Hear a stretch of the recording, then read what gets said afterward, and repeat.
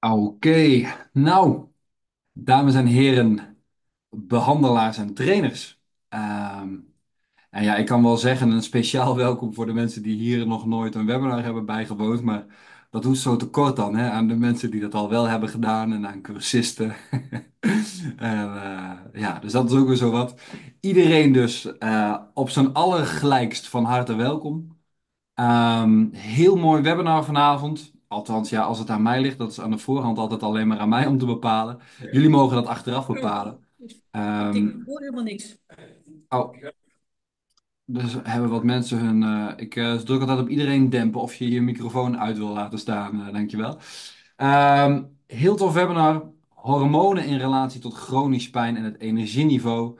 Ja, en daar moet bij staan, zoals altijd, denk veel, doe weinig. Ehm, er zijn enorm veel behandelaars en trainers die als het aankomt op hormonen, eh, maar heel weinig nadenken met als gevolg dat ze heel veel doen. Dus hun klanten veel te veel interventies meegeven.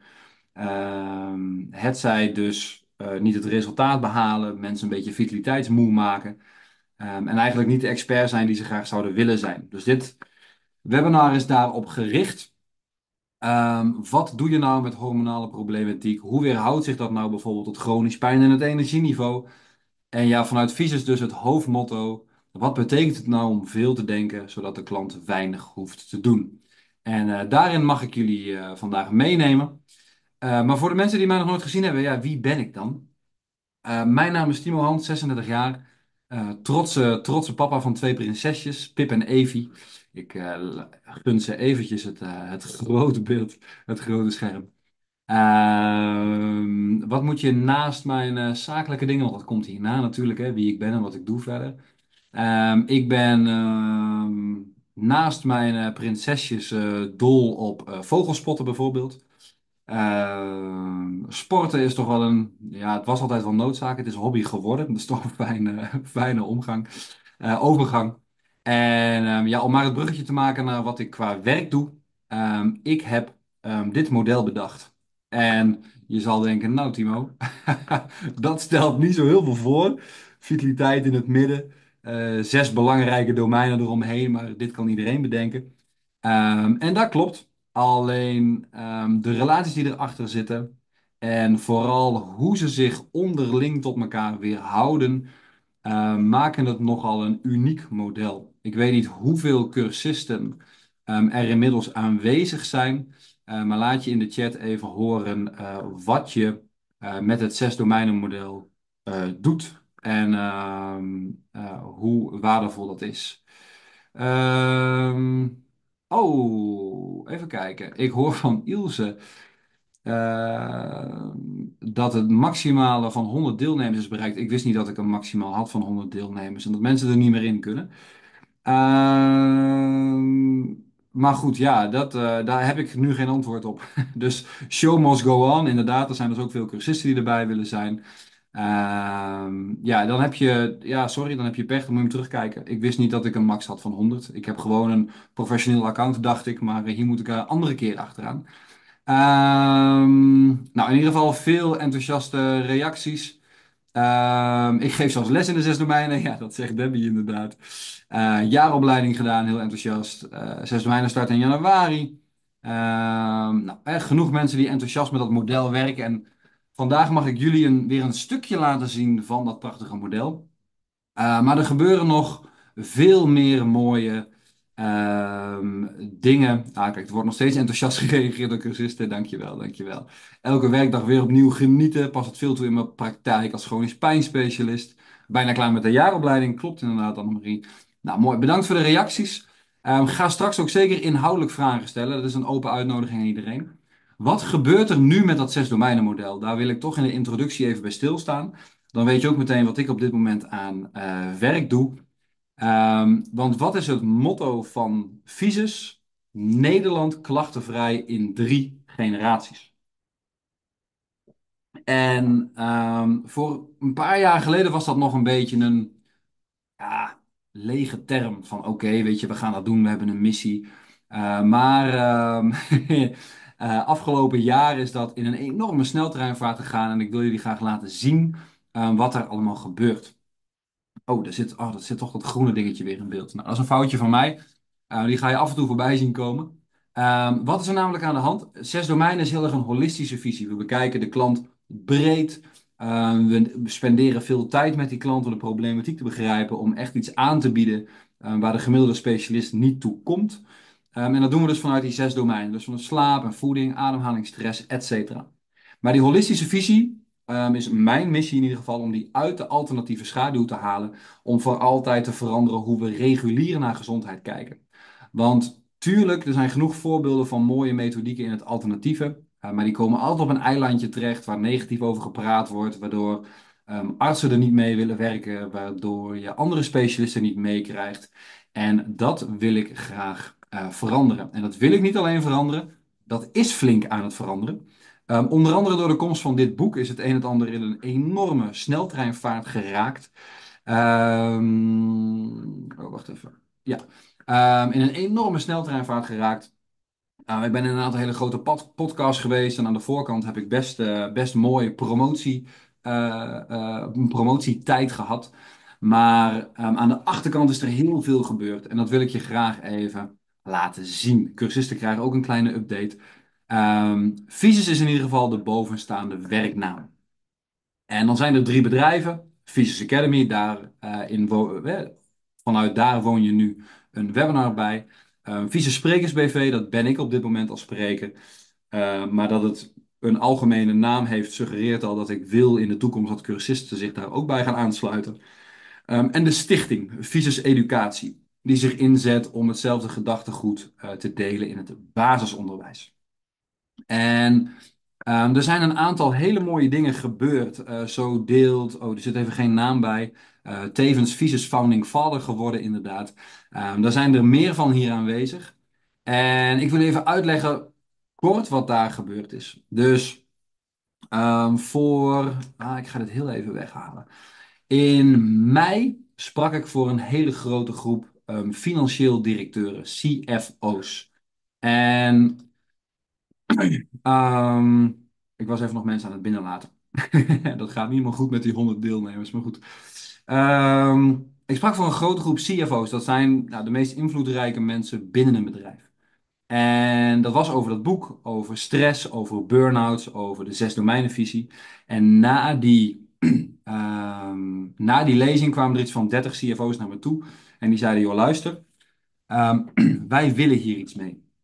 Ja, wij willen um, deze trajecten binnen onze bedrijven omarmen. En dan heb je het over bedrijven als een Deloitte, als een Bol.com, als een Rituals, als een, nou ja, van grote, over het algemeen grote namen.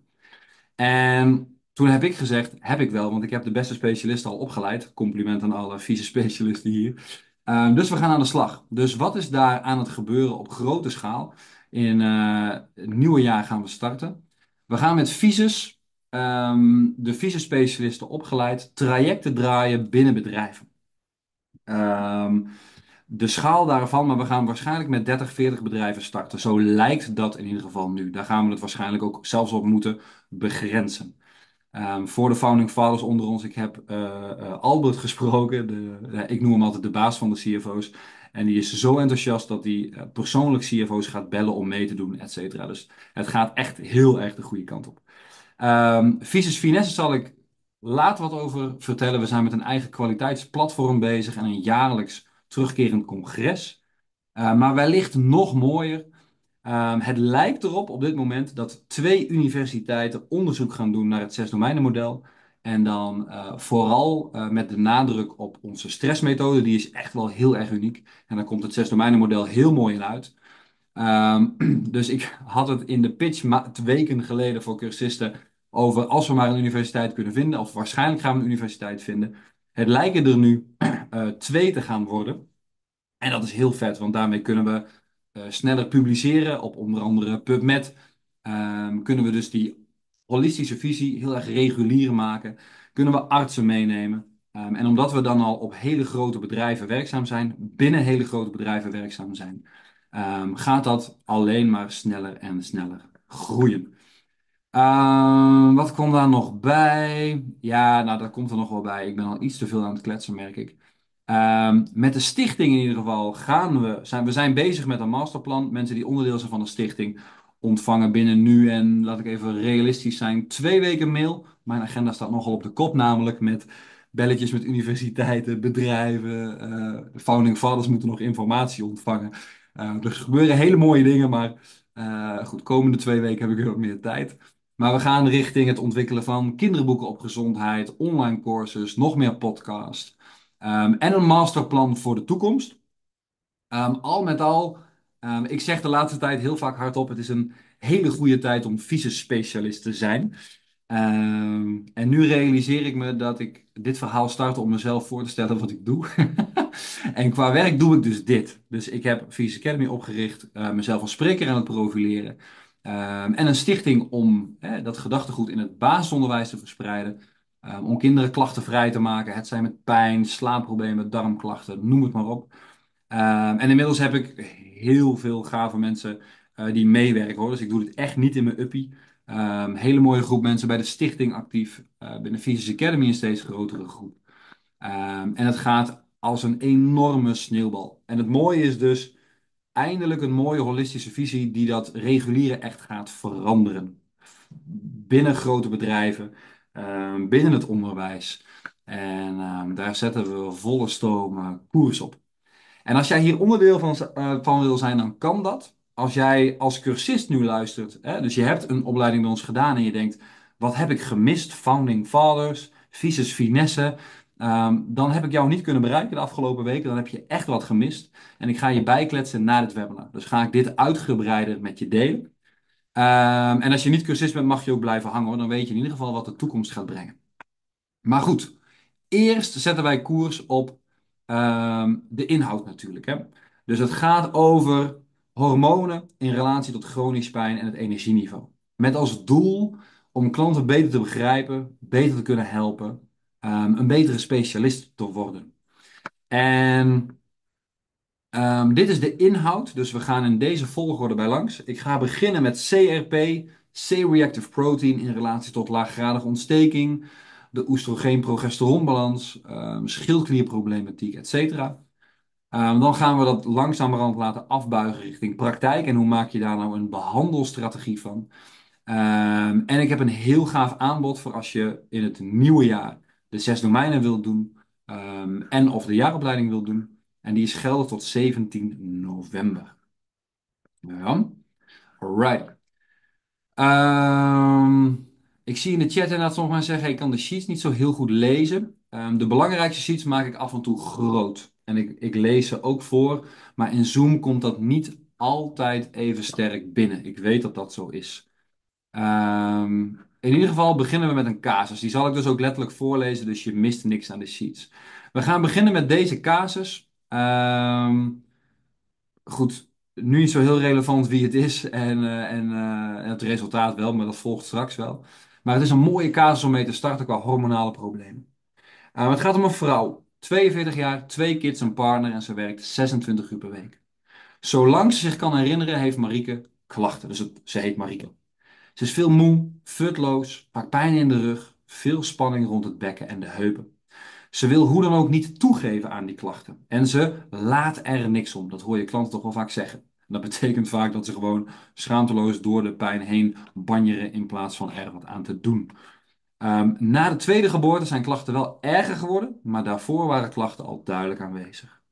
Ze is overal al geweest. Fysiotherapie, manueel, osteopaat, orthomoleculair, artsen, personal trainer.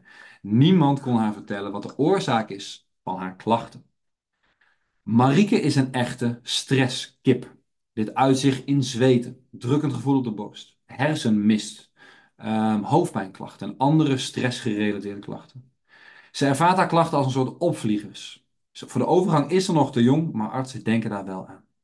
Momenteel is ze in afwachting van verschillende bloedtesten. Ook haar schildklierwaarden zijn getest. Ze wil weer meer rust in haar lijf, van haar pijnklachten af en wil zich weer een fitte, energieke moeder voelen. Oké, dat is de casus waar we uh, mee gaan starten. Ja. Um, in dit geval een vrouw is dat expliciet gedaan. Nee, mannen hebben ook hormonale klachten. Uh, maar er is altijd wel meer Ehm, interesse in vrouwelijke casussen ga ik ook wel een beetje korte metten mee maken, eh, want dat is niet helemaal terecht. Ehm, maar eh, goed, hiermee gaan we dus wel beginnen. Wat doe je nou met zo'n casus?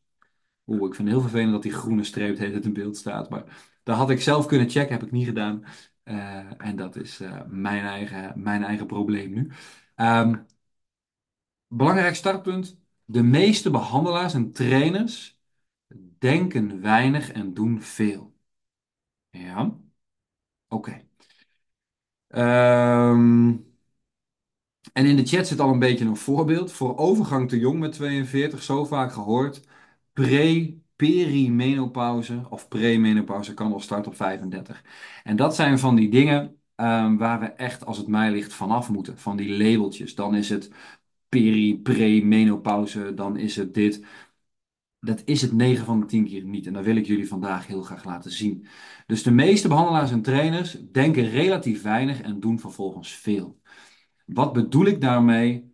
Uh, we horen een verhaal, vaak een uitgebreide casus. He, je ziet in deze maatschappij steeds meer multiproblematiek. Hè? Steeds meer um, dat mensen um, en bepaalde opvliegerachtige klachten hebben, en chronisch pijn, en vermoeidheid. Uh, misschien nog wel een auto-immuunaandoening erbij. Dus het stapelt heel erg. Dat is ook wel een beetje onze eigen schuld, ga ik je laten zien vandaag. Maar met die klanten hebben we het wel te doen. En de meeste behandelaars en trainers uh, voelen zich daar ook wel een beetje machteloos in. Van wat moet ik nou met zo iemand? Of ik heb een veel te korte intake, of ik kom kennis tekort om dit te snappen. Uh, ja, dan is het moeilijk om veel na te denken over die casus. En vervolgens moet een klant relatief veel doen. Dus oh, dan gaan we proberen um, dit supplementje. Of dan gaan we proberen meer te bewegen. Dan gaan we proberen wat gezonder te eten. Maar wat dan? Uh, lastig. En dan moet de klant van alles proberen en vaak werkt het niet. En hoe complexer de problematiek, hoe belangrijker het is als specialist om veel te denken, zodat de klant weinig hoeft te doen. En zoals ik het webinar heb ingezet, denk ik dat, het, dat je daar een heel goed beeld van krijgt tijdens dit webinar. Ja, daar, doe ik, um, daar doe ik mijn best voor vandaag. Oké. Um, dit is een hele belangrijke, los van dat er weer een letter verdwijnt, maar goed. Um, hormonen volgen de domeinen en niet andersom. Heel erg belangrijk. Als het aan mij ligt, het allerbelangrijkste statement om mee te nemen uit dit webinar. Of je nou cursist bent en je mij al heel vaak hebt horen zeggen tijdens de lessen, of dat je dit voor het eerst volgt, of dat je het wellicht voor je eigen klachten volgt. Hormonen volgen de domeinen en niet andersom. Dus het zes domeinen model hè, bestaat uit zes domeinen: slaap, stress, voeding, ademhaling, bewegen en het immuunsysteem. En die dicteren in de grootste zin wat er met die hormonen gebeurt. Dus hele specifieke relaties, hele kleine ortomoleculaire inzichten, uh, andere dingen die heel interessant klinken, die zijn het niet. Die kunnen niet op zich hormonale problemen veroorzaken. Punt. Je moet een serieus setpoint probleem hebben, dus je moet serieus van je domeinen afwijken, wil je komen tot hormonale problematiek. Ja. Ik zie Michael al uh, applaudisseren. We hebben daar laatst een soort van over gebeld, over dit uh, principe, kan me nog goed herinneren. Uh, en laten we dat maar eens wat gaan uitdiepen. ik ga niet meteen in op de domeinen, maar ik heb ervoor gekozen om eens het op een andere manier aan te vliegen. En ik dacht, ik ga eens beginnen met een ontstekingsparameter, uh, die wel eens wat meer aandacht verdient. Die verdient wel een beetje spotlight. En uh, dat is C-reactive protein, afgekort met CRP. En dat is een heel interessant, uh, hele interessante ontstekingsmediator. Ik wil daar drie relaties mee uitleggen. En daarna gaan we met die relaties veel denken en weinig doen. Dus zo schrijf je hem. Als je dit intoetst op PubMed, dan ontploft je zoekmachine. En als je daar dan uh, wat wegwijs in wordt, dan ga je een bepaalde uitleg als deze vinden. CRP is een eiwit. Dat wordt door de lever geproduceerd als reactie op ontsteking in het lichaam. Interleukine 1, 6 en TNF-alpha, dat zijn van die ontstekingsmediatoren. Dat zijn de belangrijkste triggers voor CRP. Dus maak je interleukine 1, 6 en TNF-alpha aan. Um, dat kan op allerlei manieren, dat ga ik je straks laten zien. dan wordt CRP geproduceerd. CRP helpt het immuunsysteem om schadelijke stoffen onschadelijk te maken. Ja, we noemen dat tijdens de opleiding endo- en exotoxines. Ehm, ik dacht, laat ik het even de bekende terminologie geven, in ieder geval voor cursisten. En daar helpt CRP mee.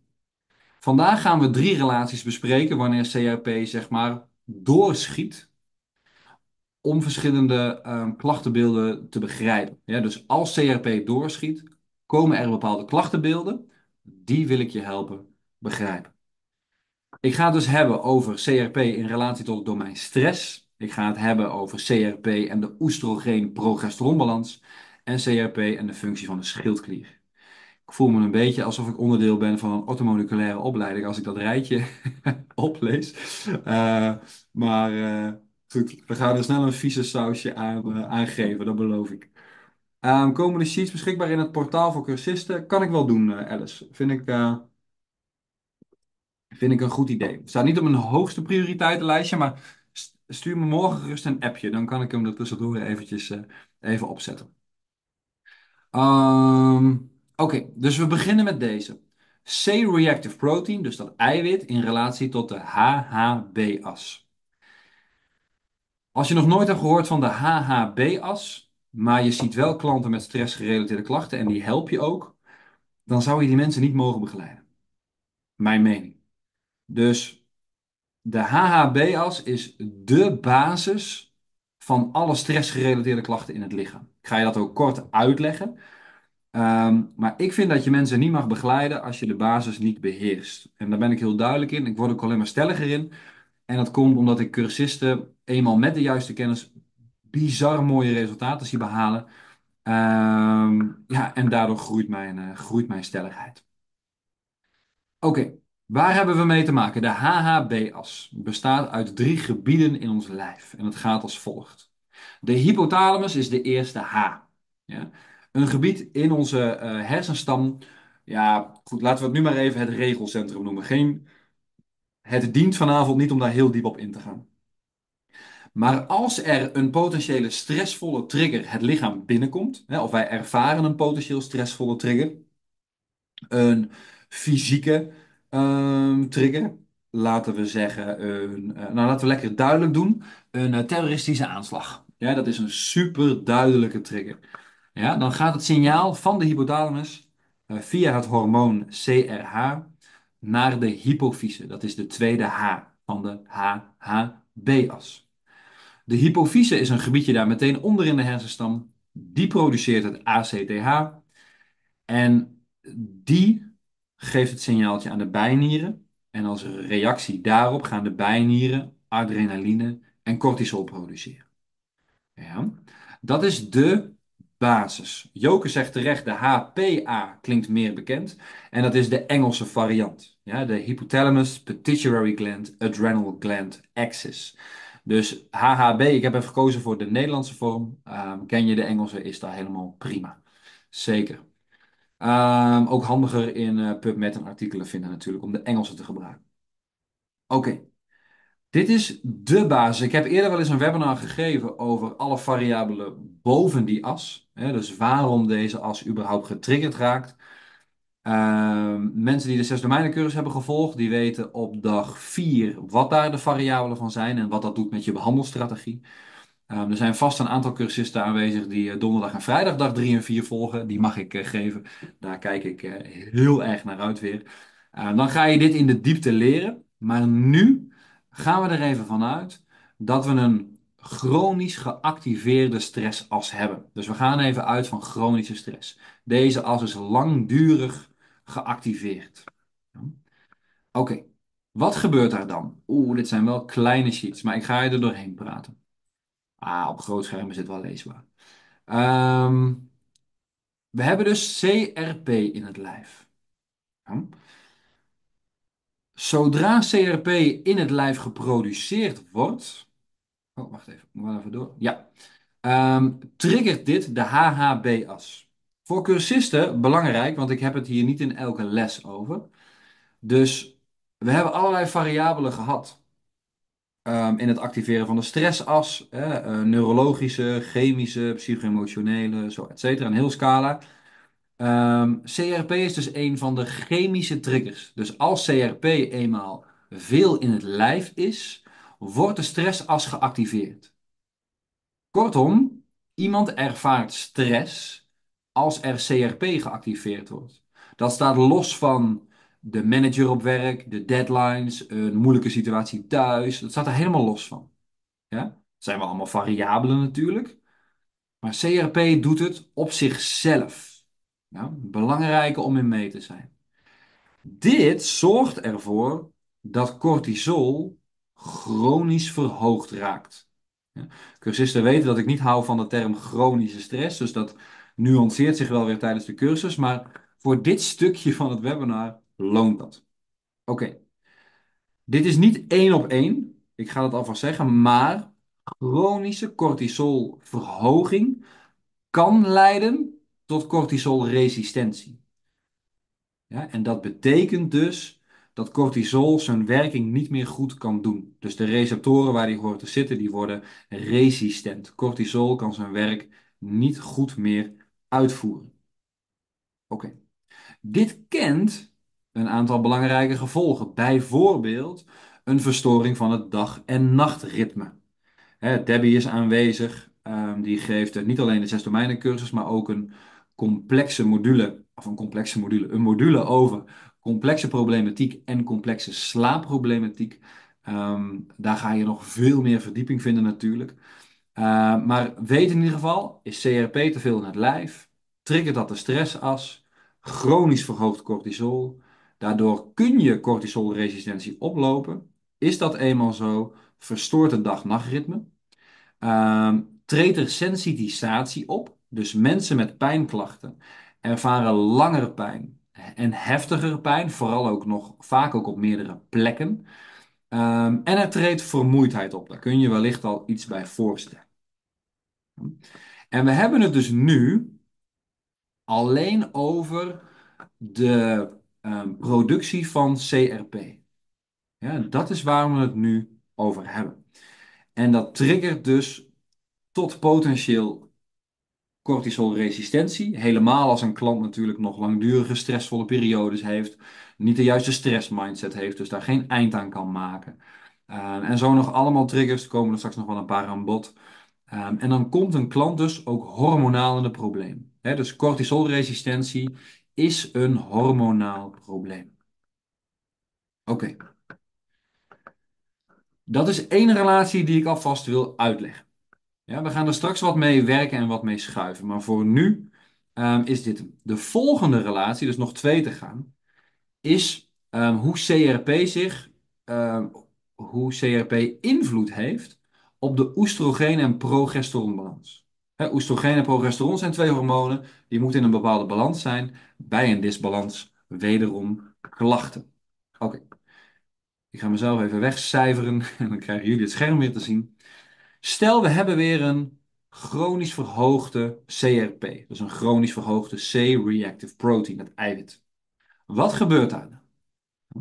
Dit heeft invloed op CYP450. Dan ben ik even benieuwd, cursisten. Waar, waar is dit enzym van bekend? Ik ben even benieuwd. Laat ik even iedereen op scherp zetten. Wie is het eerst bij de chat? Mm, cytokines? Ja, nee, nee, nee, dat doe ik niet op.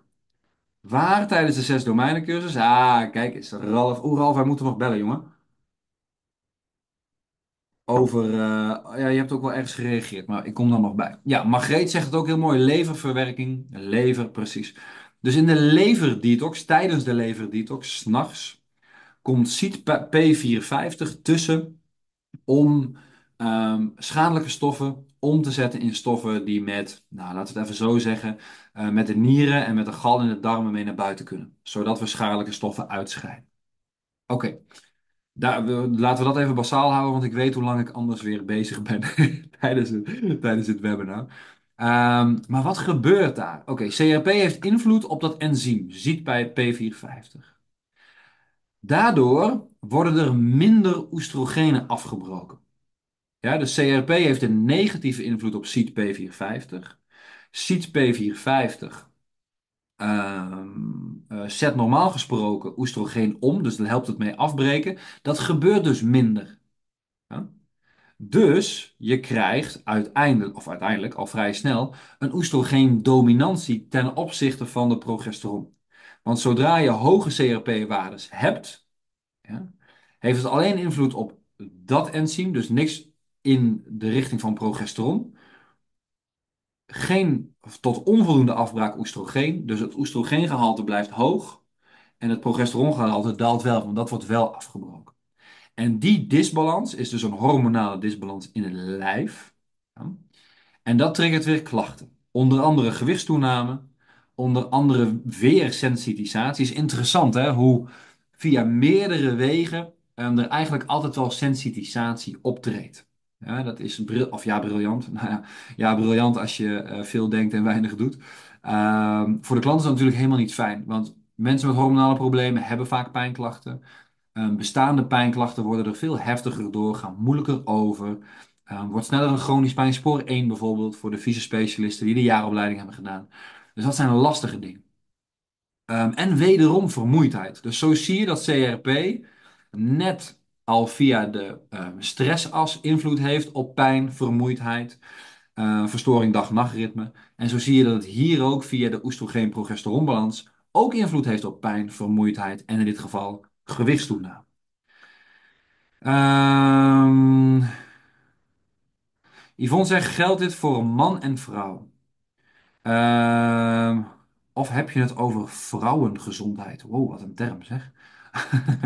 Uh, nee, ja, dit principe geldt voor man en vrouw. Ja, zeker. Ja.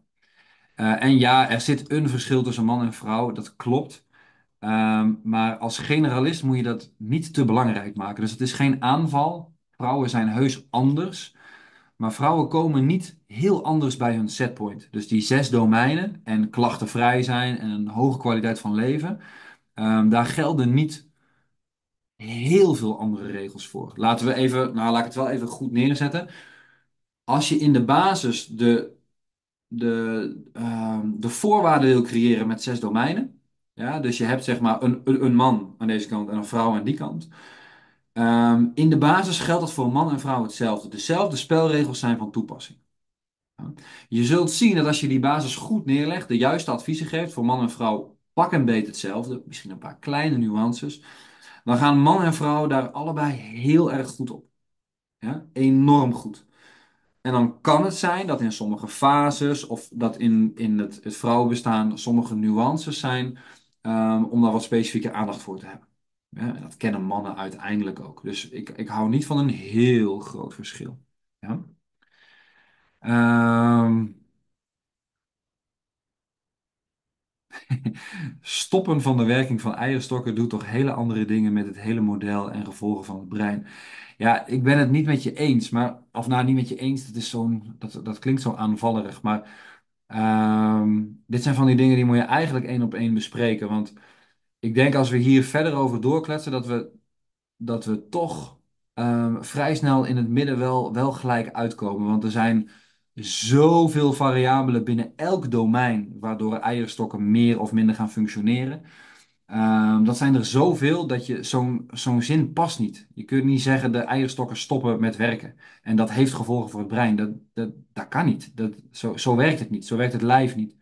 Dus als je daar alle variabelen omheen zet, naar functie van eierstok in relatie tot laaggradige ontsteking, PCOS, de invloed van slaap daarop en voeding, et cetera, um, dan kom je in de grote lijn toch op, um, op dezelfde adviezen uit voor man en voor vrouw. Los van dat ik me heel goed realiseer dat mannen geen eierstokken hebben natuurlijk.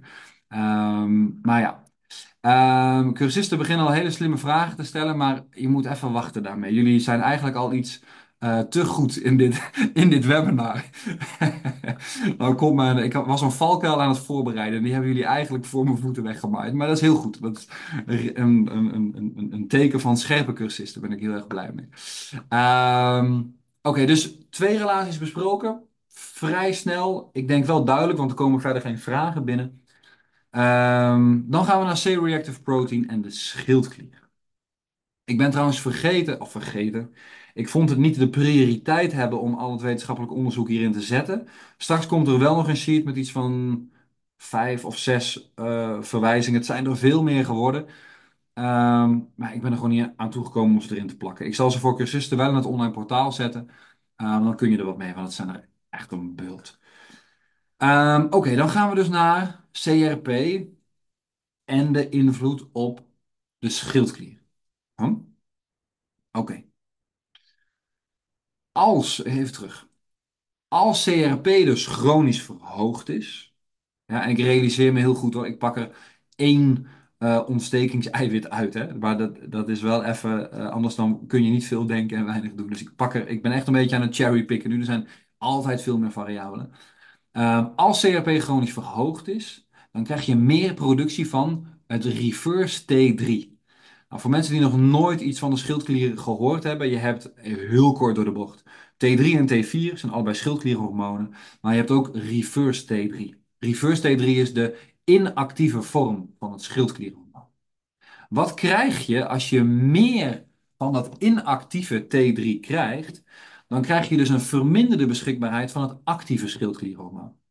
Ja, voor sommige mensen is dit denk ik een walk in the park. Voor sommige mensen zitten nu mee te pennen van, wat zegt hij? Dus je moet je voorstellen, je hebt in het lichaam ontvangertjes voor T3, voor het actieve schildklierhormoon. Maar er wordt in één keer heel veel reverse T3, dus RT3 geproduceerd, wat het inactieve hormoon is. Maar die bezetten die receptoren ook op een bepaalde manier. Daardoor kan het beschikbare hormoon niet ja, goed tot zijn, uh, komt niet goed tot zijn werking. Laten we het maar even zo zeggen. Daarbij komt nog, heel vaak gaat CRP samen met interleukine 6. En als er überhaupt interleukine 6 in het lichaam nou ja, te veel geproduceerd wordt, hè, zorgt dat er ook voor dat beide schildklierhormonen minder geproduceerd worden. Nou, dus dat is een uh, belangrijke relatie erbij. Daarom heb ik het er maar even een hokje boven te zetten. Want het is niet als gevolg op het onderste lijntje. Nee, het is een extra. En we zien gewoon heel vaak interleukine 1, 6, TNF-alpha, CRP en zo nog een reeks van andere ontstekingsmediatoren. Die zien we vaak samen in het lijf. Dus in dit geval heb je eigenlijk twee relaties die de schildklier negatief kunnen beïnvloeden. Wat zijn onder andere klachten van deze relatie? Een koude intolerantie, uh, gewichtstoename en vermoeidheid. Dus je ziet sowieso met hormonale klachten natuurlijk vermoeidheid heel erg. Um, ja, uh, is gewoon een hele dominante klacht. En veel andere herkenbare klachten, denk ik ook. Oké. Um, drie relaties besproken. Allemaal vanuit CRP. Um, even kijken. Uh, Kijk, oh, er zitten leuke dingen in de chat bij. Mannen maken heel weinig progesteron en veel minder oestrogeen dan vrouwen. Dus oestrogeendominantie is toch meer van belang bij vrouwen. Klopt. En als eierstokken niet meer werken, maak je vanuit daar geen oestrogeen meer aan en geen progesteron. En dus echt anders.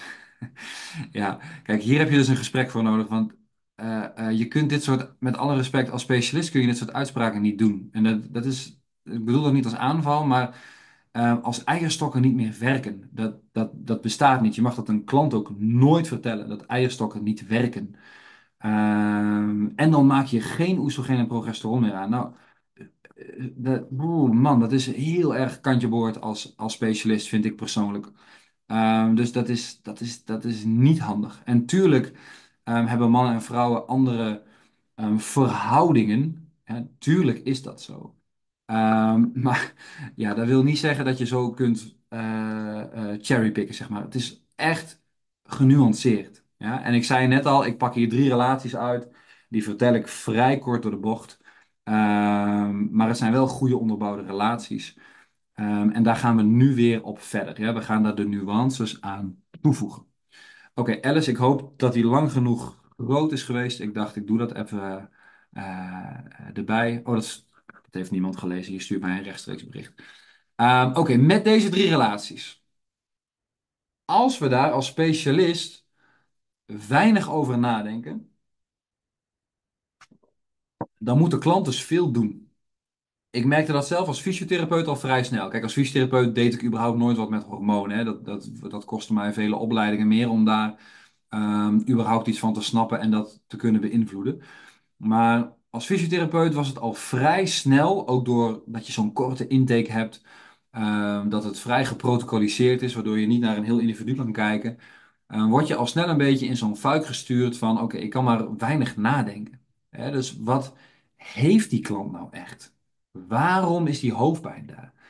Waarom zijn die stressgerelateerde klachten daar? Hoe is de kwaliteit van slaap? Hoe is het met eh, de darmen? Weet je wel, dat zijn allemaal van die dingen die zou je van een klant graag willen weten. Ik als fysiotherapeut kreeg dat nooit voor elkaar. Met als gevolg dat ik maar relatief weinig kon nadenken ehm, over de problematiek van die klant. Ik had daar maar heel weinig tijd voor. Ik had er ook maar heel weinig kennis en kunde over, vond ik zelf. Ehm, met als gevolg dat ik zei, nou ja, probeer dit maar. En dan ga ik proberen je nek los te maken. Of in dit geval met Marieke, proberen je onderrug te mobiliseren. Of kooroefeningen mee te geven. Of te gaan samenwerken met een bekkentherapeut. Want je hebt na de zwangerschap meer klachten gekregen. En als het dan werkte, was het oké. Maar dat deed het niet eens voor zo heel veel mensen. De meeste mensen kwamen weer terug. En dacht ik, ja, wat nu? En dan was het een beetje van, nou, weet je, oké, dan proberen we dit ook nog maar. Ja, en dan proberen we dit ook nog maar. En dat is alleen maar het gevolg van weinig denken en veel doen. Dus wat ik daarin bedoel, je hebt altijd een behandelstrategie. Wat voor behandelaar of trainer je ook bent, dus of je nou personal trainer bent, of psycholoog, of een arts, of een fysio, of een manueel, of een osteopaat, of een orthomoleculair therapeut, of een masseur, of een mondhygiënist.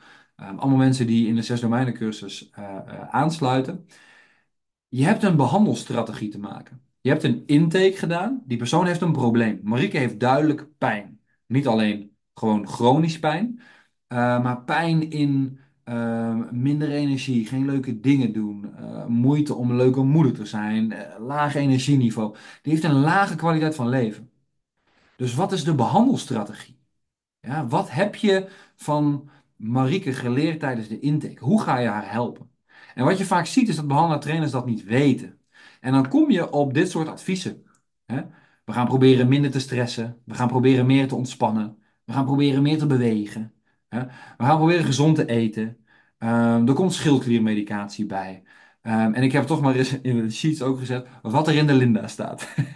en wat ik daarmee bedoel, um, als er in de Linda een keer een artikeltje staat, ik bedoel het magazine van de Linda, niks ten nadele van de Linda, maar daar staat dan uh, soms een artikeltje over magnesium en hoe belangrijk dat is. En iedereen die Linda leest, koopt in één keer magnesium.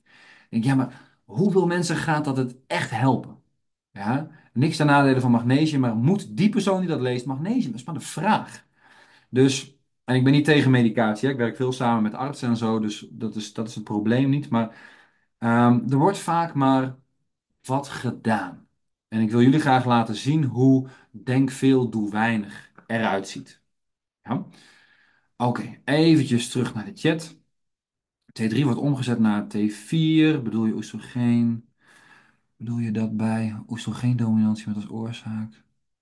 Wacht even hoor. T3 wordt omgezet naar T4 in de lever. Bedoel je dat bij oestrogeendominantie met als oorzaak verhoogde CRP de lever overbelast is en geen T3 omzet? Um, nee, dat bedoel ik niet. Ik bedoel dat CRP ervoor zorgt dat je meer reverse T3 krijgt, waardoor de actieve T3 uh, niet meer goed zijn plek vindt. Want die reverse T3 uh, neemt zeg maar een deel van de plek in van het normale actieve hormoon. Dat bedoel ik te zeggen. Is krachttraining dan noodzakelijk? Nou, dat is niet noodzakelijk. Dat is wellicht een goede variabele als je weet hoe je het moet inzetten. Maar ik ga daar straks iets van uiteenzetten. Wat als mijn medicatie slikt voor het veranderen van de seks? Ja, dat is. Wow, dat vind ik een heel interessant. Uh, dat is wel een rechtstreeks bericht, dat kan niet iedereen lezen. Maar wat als mijn medicatie slikt voor het veranderen in sekses, transgender, et cetera? Of bij hormoonmedicatie naar kanker? Ja, dan, dan wordt het zo specifiek. Ik, ik weet dat ook niet direct. Ik ben heel erg generalist op dat vlak. Uh, ik zou zeker met die mensen willen werken vanuit wat ik weet, maar dan heel goed in samenwerking met een arts. Maar ik kan daar nu niks van zeggen. Uh, even kijken. Bla, bla, bla. Oh, er worden nog even wat artikelen uitgewisseld. Helemaal prima. Eh, oké, mooi. Dan gaan we verder. Goed. Wat is dus de kracht van denk veel, doe weinig? Cursisten hebben het al een beetje gras van mijn voeten weggemaaid, maar ik zie dit meer als een eh, trotse papa die eh, blij is dat cursisten dat al doen.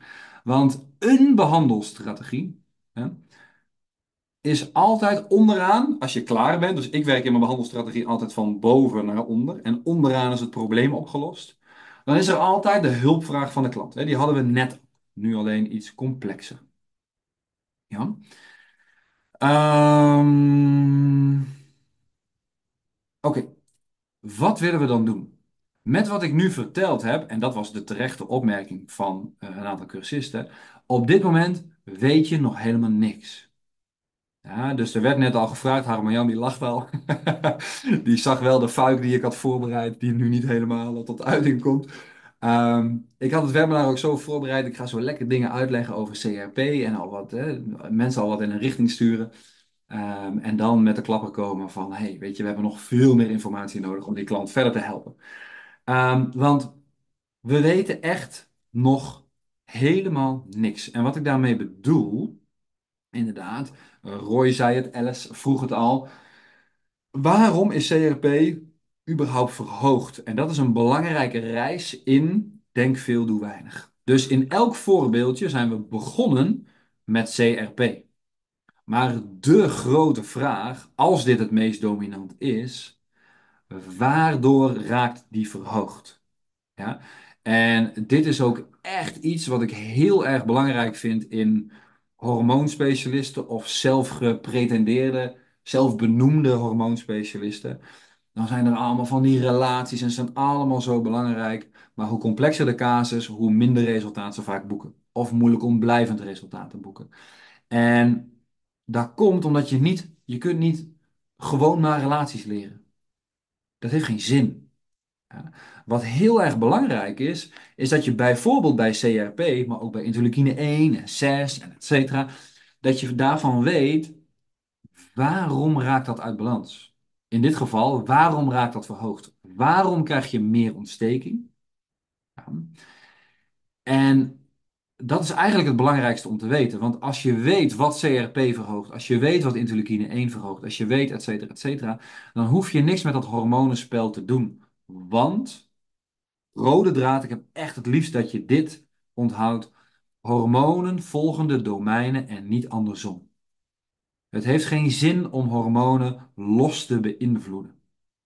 Ja, ja er is een plaats en tijd voor, maar pas onderaan je behandelstrategie. Ik ga dat straks Ehm, laten zien. Oké. CRP raakt onder andere verhoogd door, komt hij dan?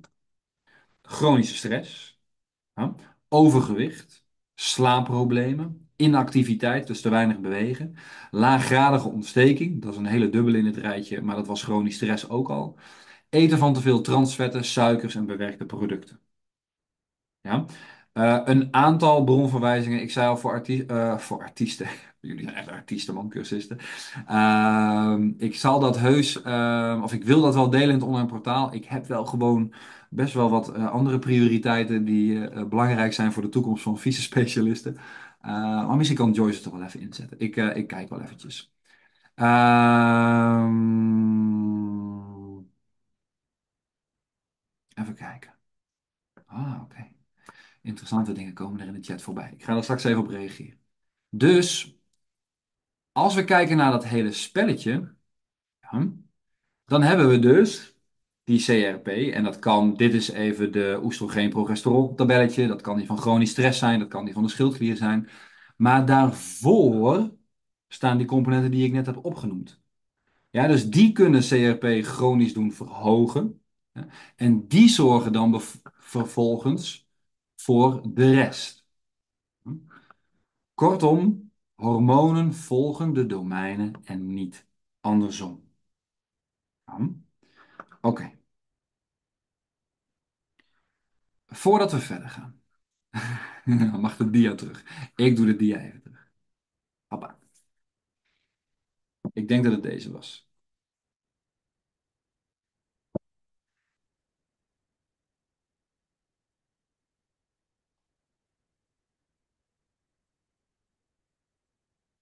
Alright. In de chat, even kijken. Weet je wat Reverse T3 doet? Wat is de functie? Nou, nee, het is nooit een loos iets. Ehm, ja, dit zijn van die dingen. Ik heb dat nu niet helemaal paraat. Ik, ik heb niet, eh, niet alle, alle kennis adequaat. Uh, maar Reverse T3 heeft in ieder geval deze uh, functie. Hij kan ook omgezet worden hoor, maar dat is in deze casus even niet van toepassing. Kijk, Albert help je al eventjes met PubMed. Dat is helemaal fijn. Dankjewel Albert.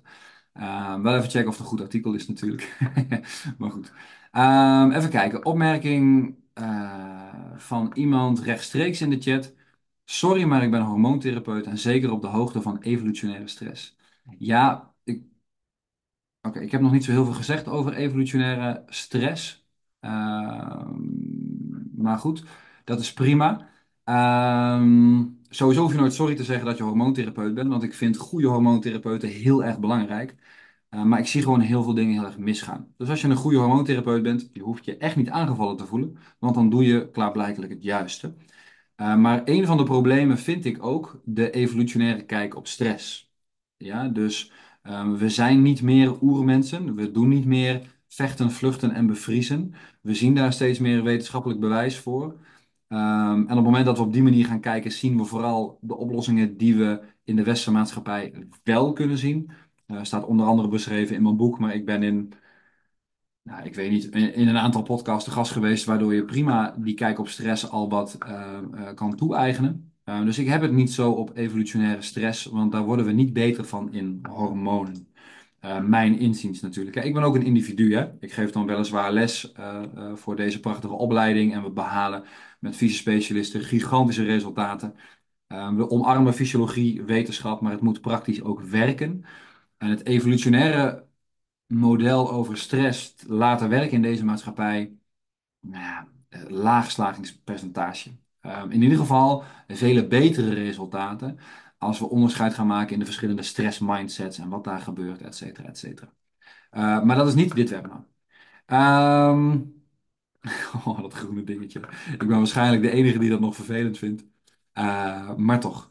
Um, hoe is het bewijs gestapeld? Dus als we deze klant verder willen helpen, hè, dus we hebben nu zover um, CRP met drie belangrijke relaties in veel voorkomende hormonale klachten.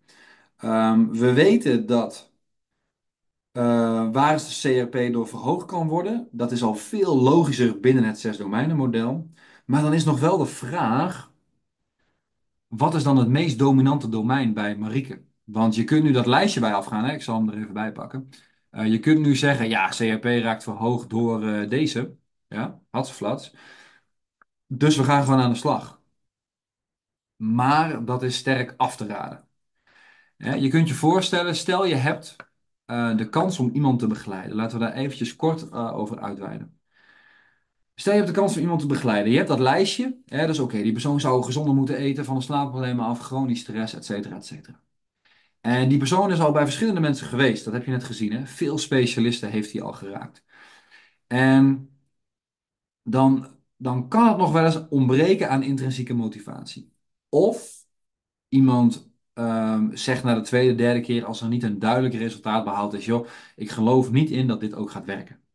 Ja, daar heb je als behandelaar-trainer mee te maken. Dus we zijn niet alleen inhoudelijk specialisten, we hebben ook rekening te houden met, als we klanten hebben met complexe problemen, Um, dat we die goed begeleiden. En goed begeleiden is niet alleen de juiste interventie. Goed begeleiden is ook rekening houden met motivatie, met uh, de eerdere track record, dus bij hoeveel behandelaars en trainers iemand is geweest.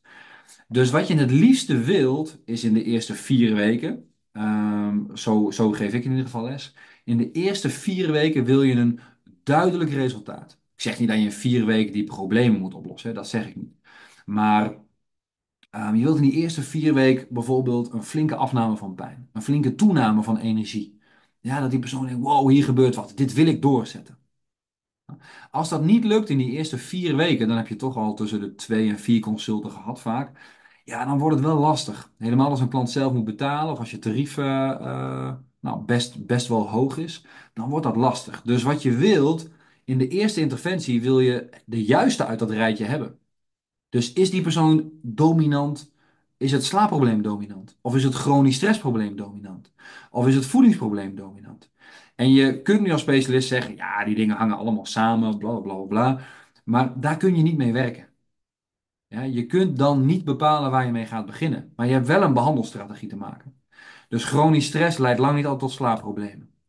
En slecht eten leidt lang niet altijd tot darmklachten, et cetera, et cetera. Dus je hebt daarin als specialist een bepaald patroon te herkennen. En dat wil ik je graag laten zien. Binnen um, Physis Academy, bij de zes domeinencursus, bij de jaaropleiding bijvoorbeeld, maken we gebruik van de Physis vragenlijst. Die kun je op de site gratis downloaden via ons Instagram. Um, die, die mag je gewoon gratis in de praktijk uh, gebruiken. Is geen enkel probleem. Um, dat is deze lijst. Even kijken. Is gewoon een, een PDF, die kun je uitdraaien of digitaliseren. Cursisten, uh, laat maar even weten in de chat. Ik weet niet hoeveel cursisten erbij zijn. Typ maar gewoon uh, ja op het moment dat je de vragenlijst um, bij het grote deel van je klanten uh, toepast. Ik weet namelijk dat het een, een hoog percentage is. En wat we gaan doen. Kijk eens even, dat stroomt lekker binnen. Heel goed, kijk eens even. Mm. Oké, dus het is voor, uh, hoeveel, even kijken, in acht jaar tijd ruim 600 behandelaars en trainers opgeleid. Voor heel veel mensen is die vragenlijst het belangrijkste strek, vertrekpunt. Waarom is dat het belangrijkste vertrekpunt? Dat is zo um, omdat je al een goed beeld krijgt van elk domein. Ja, dus in de vragenlijst wordt slaap en stress en ademhaling, et cetera. Daar worden de, de juiste basisvragen worden daar al uh, gesteld. Ja? Je moet altijd doorvragen, hè? dus het ligt altijd genuanceerder. Maar wat we nu gaan doen, is ik ga je de vragenlijst van Marike laten zien. Ja? Je mag daar per sheet eventjes uh, 10, 20 seconden naar kijken. Ik klets je er wel even doorheen. En daarna gaan we kijken, oké, waar moeten we beginnen? Ja, dus of je nou al een cursus hebt gedaan of niet, je hoeft ook niet te typen als je denkt, uh, goh, dat, uh, dat ja, ik, uh, ik wil geen fouten maken. je kunt geen fouten maken, je kunt slechts wat leren, maar toch. Um, kijk gewoon naar elk domein en daarna gaan we bepalen waar we gaan beginnen. Ja? Oké, komt-ie. Oh, leuk dit. Komt-ie. Slaap. Marieke slaapt 6,5 uur per nacht. Ja? valt wel snel in slaap, wordt een keer of vier wakker per nacht. Wordt niet uitgerust wakker s ochtends. Slaapt voor de gevoel niet diep en vast. Wordt niet makkelijk wakker als de wekker gaat. Um, en dat zijn de belangrijkste gegevens.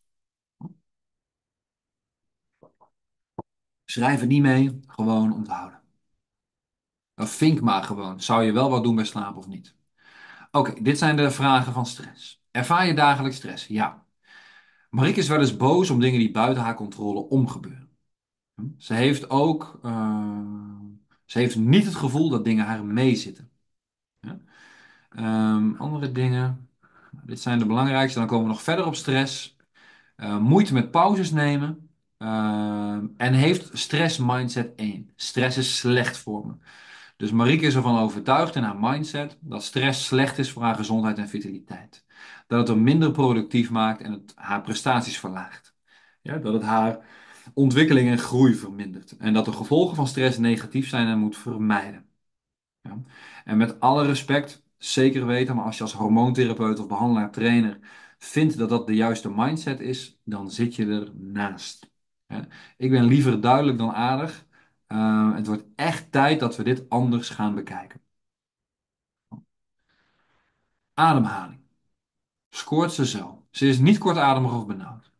Eens spierpijn, zware benen, ook al heb je niet gesport. Ik kan dat niet allemaal toelichten, maar dat is een vraag die positief stemt op ademhaling. Niet duizelig, uh, wel bekkenbodemproblemen. Uh, in dit geval in de vorm van incontinentie, weet ik nog. Heb je nek- of hoofdpijn? Heeft ze ook. En ze herkent zich in vermoeidheid, reumatische klachten en ontsteking aan spieren en gewrichten. En in dit geval um, is dat doorgevraagd en komt dat uit op ademhaling. Ja, dus ik weet dat niet elk ding uit dat rijtje iets met ademhaling te maken heeft. Maar um, binnen fysisch doseren we bepaalde ademhalingstypologieën. En met een specifiek, nou in dit geval een diafragma hoogstand, kun je komen in deze problemen. Oké. Dus zover gaan we iets doen met slaap, iets met stress of met ademhaling. Ja. Oké, dan komen we op het immuunsysteem. Ehm, niet ziek, niet verkouden, geen huidklachten, goede kwaliteit gebit. Ja, wel bloedend tandvlees, dus dat is wel weer een leuke vraag natuurlijk. Ehm, ze heeft wel last van ochtendstijfheid. Eh, na het eten heeft ze wel eens een dip. Ze heeft wel eens last van obstipatie of diarree. Ehm, goed, wisselende stoelgang, maar zeker wel één keer per dag. En ook wel eens een opgeblazen gevoel in haar buik. Right, dat is het immuunsysteem. Dan gaan we naar voeding. 's Ochtends bakje yoghurt, muesli en banaan. Tussendoor twee stuks fruit. Salade, kip, tonijn. Veel groente, af en toe noten. Tussendoor nog eens een mueslireep. Eh, 's S'avonds vaak aardappelen, vlees, groente, maar wel weinig aardappelen en veel groente en vlees. Eh, men eet soms 's avonds wat als het gezellig is. Nou, 1 tot 2 bakjes koffie. Drink wel wat thee overdag. Water. Geen alcohol. Bewegen is zo anderhalf uur per dag in de buitenlucht. Zit vijf uur gemiddeld. Dat is de vraag. Maar goed, ik denk dat het iets meer zou zijn. Maar in ieder geval vijf, zes uur. Ehm, heeft moeite op haar werk om vaak op te staan. Eh, sport drie keer per week. Burn-out gehad in 2020. En scoort haar vitaliteit op een schaal van 0 tot 10 een 4. Oké. En nu? Je mag het rechtstreeks naar me sturen. Je mag gewoon even wat in de chat zetten. Waar gaan we starten? Wat is het?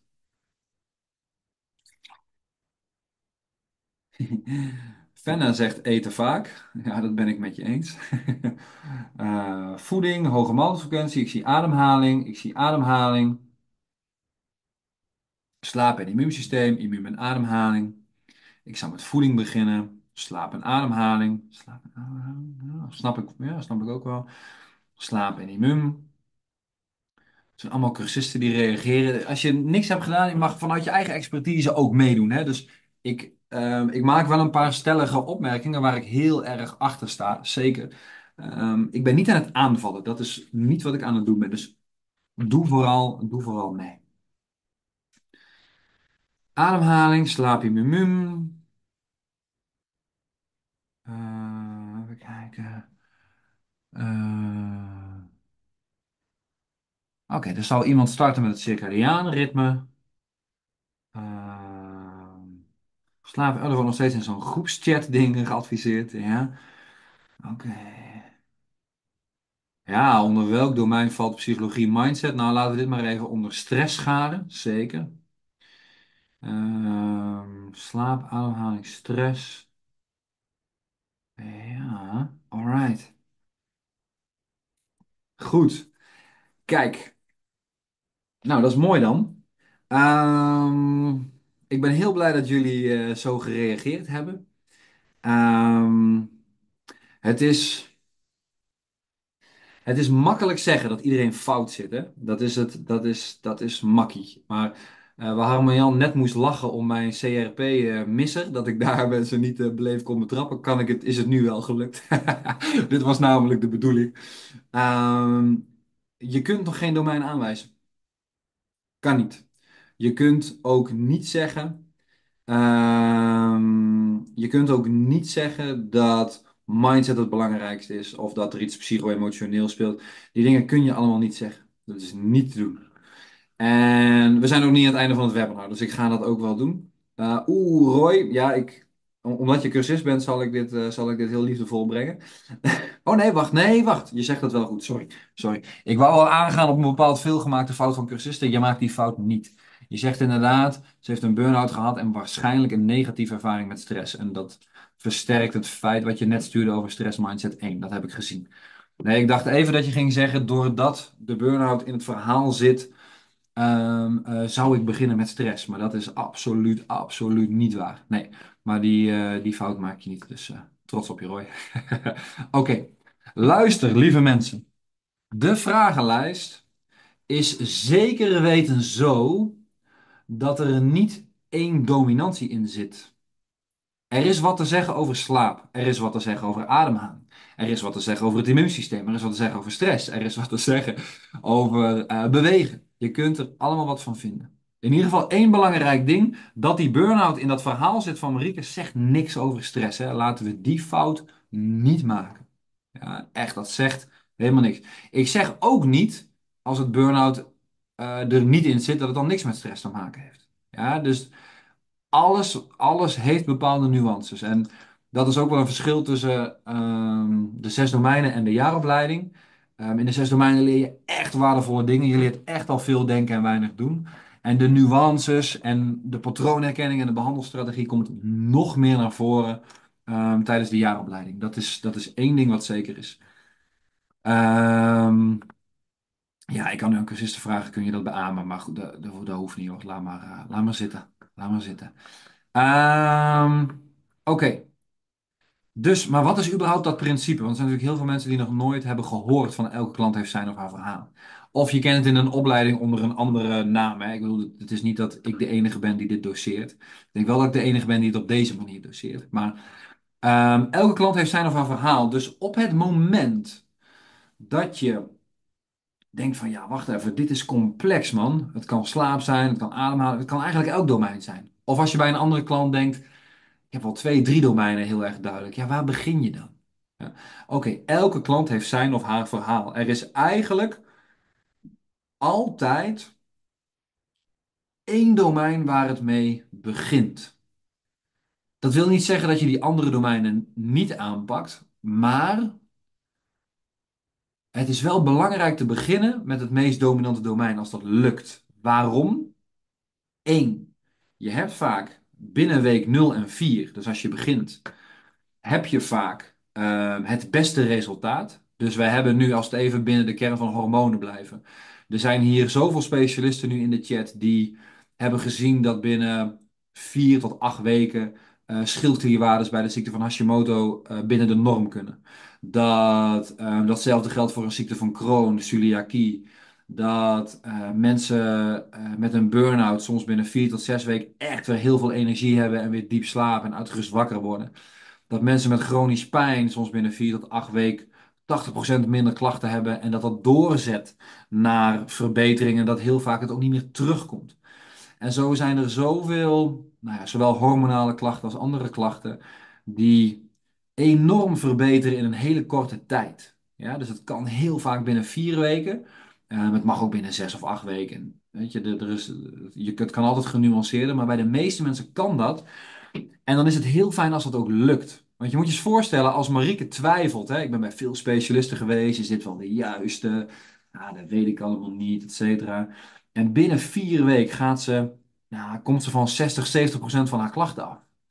Die blijft hoe dan ook voor een tweede, derde, vierde, vijfde consult. Ook als er even een keer een hobbeltje in de weg zit, dat het even wat slechter gaat. Die voelt gewoon, deze persoon kan mij helpen. Ja, dus het is heel fijn als dat lukt in het begin. Als dat niet lukt, ja, dan is er best een grote kans dat die klant op een gegeven moment denkt, ja, weet je, dit is het waarschijnlijk ook niet. Ja, dus de intake was leuk, het was een goed verhaal. Die persoon weet veel van hormonen, maar er is in de eerste zes weken niks veranderd. Ik ben weg. Ja, dat zie je veel gebeuren. Ja, oké. Hoe ziet dat eruit? Ehm, ik heb even een paar dingen opgezomd uit het verhaal van Marieke. En ik heb het voor dit webinar even extra duidelijk gemaakt. Voel je niet onzeker als cursist als je het niet snapt. Maar ehm, kijk hier even naar. Dus in het verhaal even als kind geen probleem. Dus we gaan niet helemaal terug tot het kind zijn van Marieke. Daar speelt niks relevants voor haar klachten. Ze heeft wel twee kids gehad. Um, vermoeidheid, chronische pijn, concentratieproblemen, hoofdpijn, moeite met afvallen, milde buikklachten. Let op, milde buikklachten. En vaak ziek. Dan is dus de vraag: bij welk domein gaan we beginnen?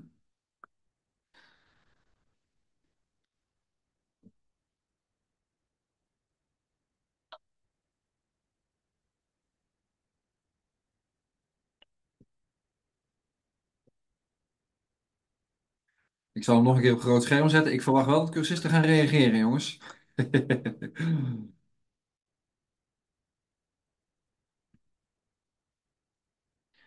Sowieso lekker als cursist hoor. Even aan te schuiven, even op te frissen. Oh. Ik weet niet of er mensen zijn die donderdag en vrijdag weer cursus hebben, maar dit is wel lekker om even zo er tussendoor te hebben.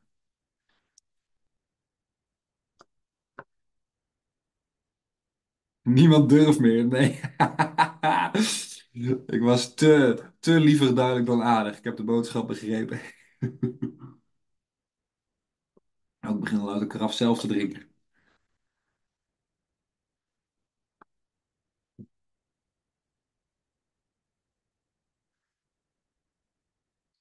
Jongens, waarom zegt iedereen het immuunsysteem? Wat is dat nou? Hoe kan dat nou? Sinds wanneer krijg je concentratieproblemen en, eh, van, eh, van immuunsysteemklachten? Sinds, wanneer, sinds wanneer is dat de meest dominante klacht? En sinds wanneer heb je moeite met afvallen bij het immuunsysteem? Kom op, lieve mensen.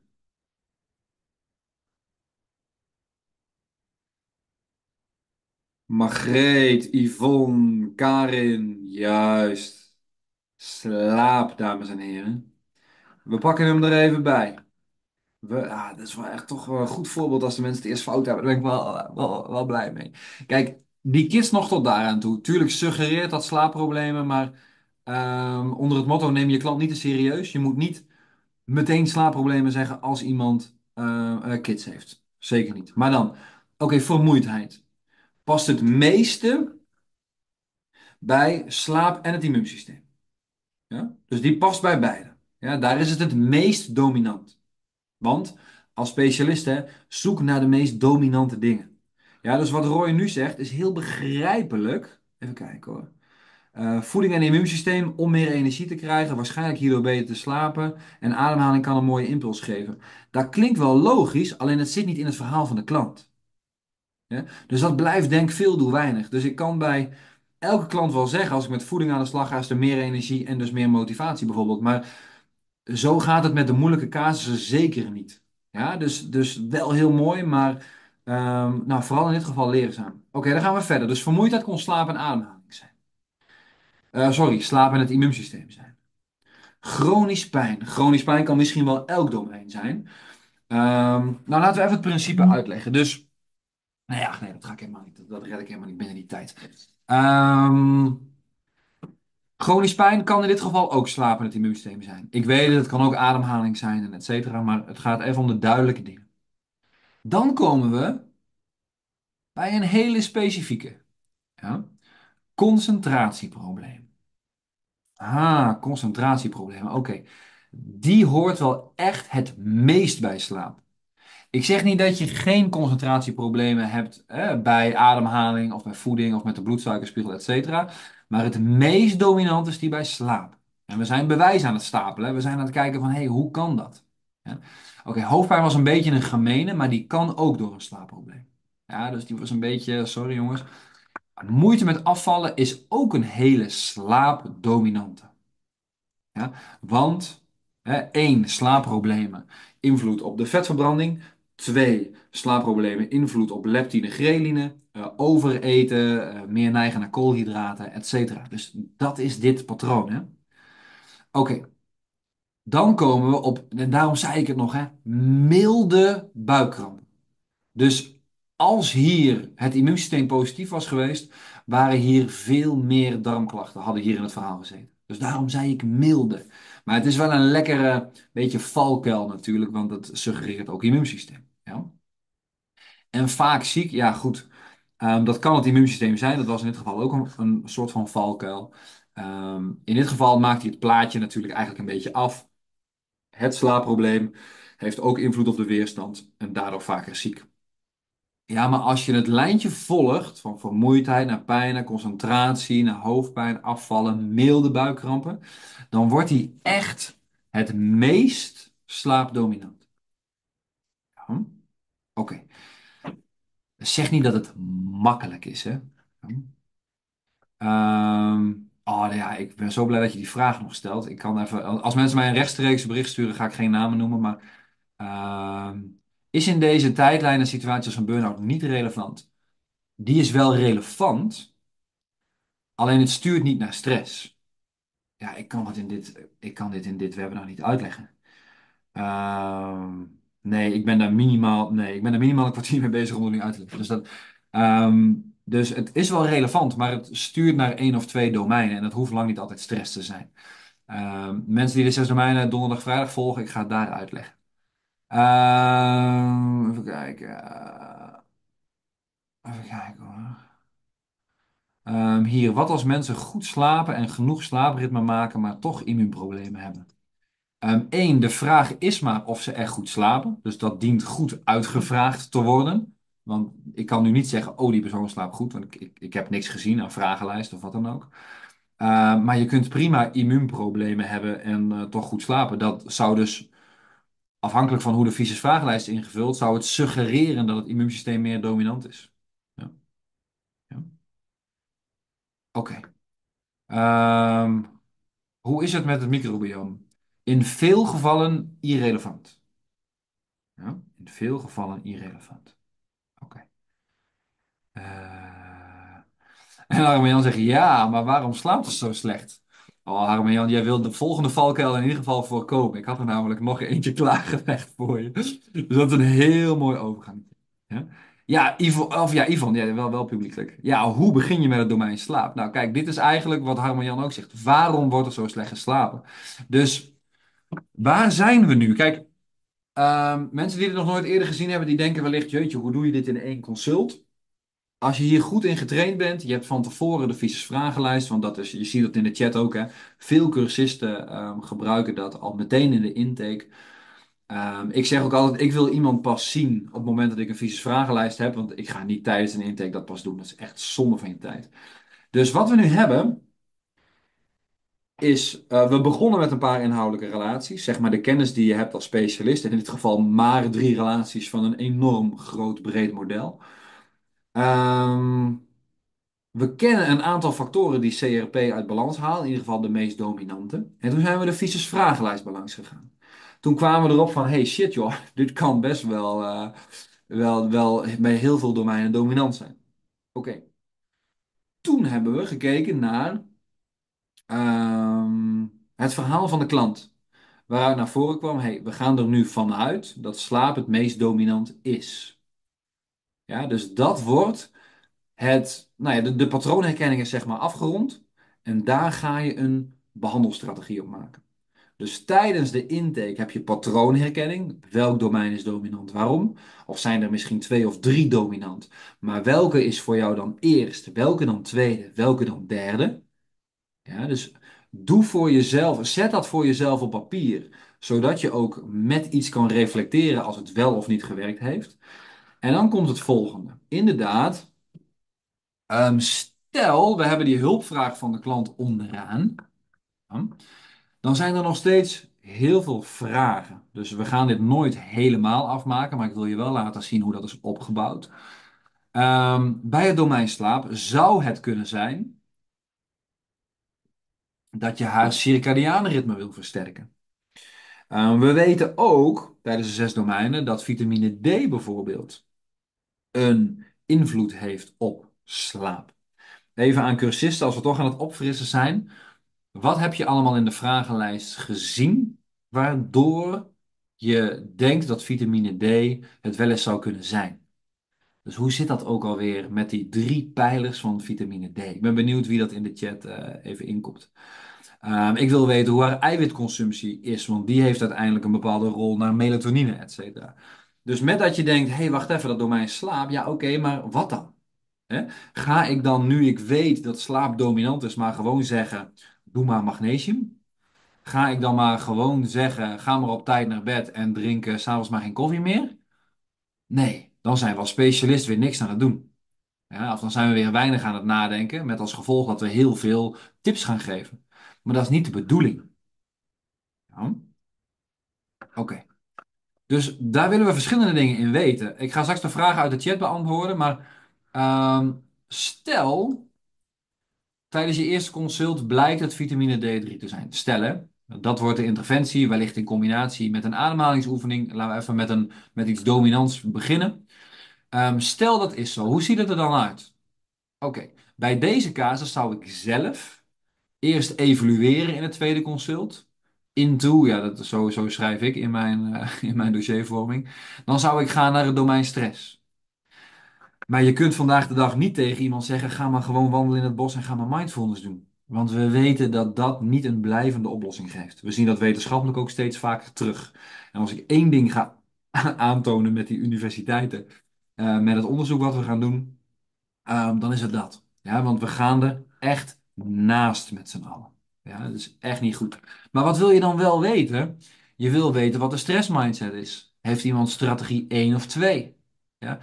Of blijkt naar uitvragen dat je met stress helemaal niks wil doen. Hè? Want het is ook heel vaak zo, stel die persoon gaat binnen vier weken echt veel beter slapen. Stel, het gaat echt, stel dat is echt het dominante domein. Dan kan het prima zo zijn dat iemand na week vier terugkomt en zegt ik ervaar helemaal geen stress. En als hij die visus vragenlijst invult, ehm, dat hij daarmee gewoon helemaal happy is. Het kan echt zo zijn als bovenaan het meest dominante domein gepakt is, dat je in de volgende twee, drie consulten niet veel meer te doen hebt. Ook bij deze heftige problematiek. Ja? Oké. Dan wil je opnieuw een vragenlijst afnemen, weer naar het meest dominante domein kijken, welke resultaten is al behaald. En zo werk je van boven naar onder. Ik heb er nu heel simpel opgeschreven hoor, aan behandelstrategie. Uh, maar je wilt voor jezelf uh, een bepaald houvast creëren. Ja? Visusvragenlijst, goed doorvragen. Wat vind je het meest dominante domein? Welke interventie hoort daarbij? Wat verwacht je dan de tweede keer dat er gebeurt? En de derde keer wat er gebeurt, et cetera. Ja? Uh, Monique zegt, als je... Oh, sorry, dat is een rechtstreeks bericht, excuus. Als je de cursus doet, ga je dan uitgebreid in op de oplossingen? We kouwen ze helemaal uit. De zes domeinencursus en de jaaropleiding staan erom bekend. Zeker ook op veel inhoudelijke kennis. Totaal anders nog weer en vernieuwend ten opzichte van deze. Ehm, en we gaan net zo lang door tot het zich helemaal vertaalt tot de praktijk. Helemaal in de jaaropleiding gaan we dan nog veel dieper op in. Ehm, maar ja, dus. Ja, dus. Ehm, dit gaat niet om fase 4 slaap herstellen. Nee, het gaat niet om cortisol, vaak wakker. Jongens, wat is vitamine D? Jongens, wat is de meest dominante relatie met vitamine D naar andere domeinen? Wat is dit nou? Ik zal de sheet even op groot zetten. Wat heb je gezien uit de andere domeinen waarvan je denkt vitamine D komt wel eens? Dominant zijn.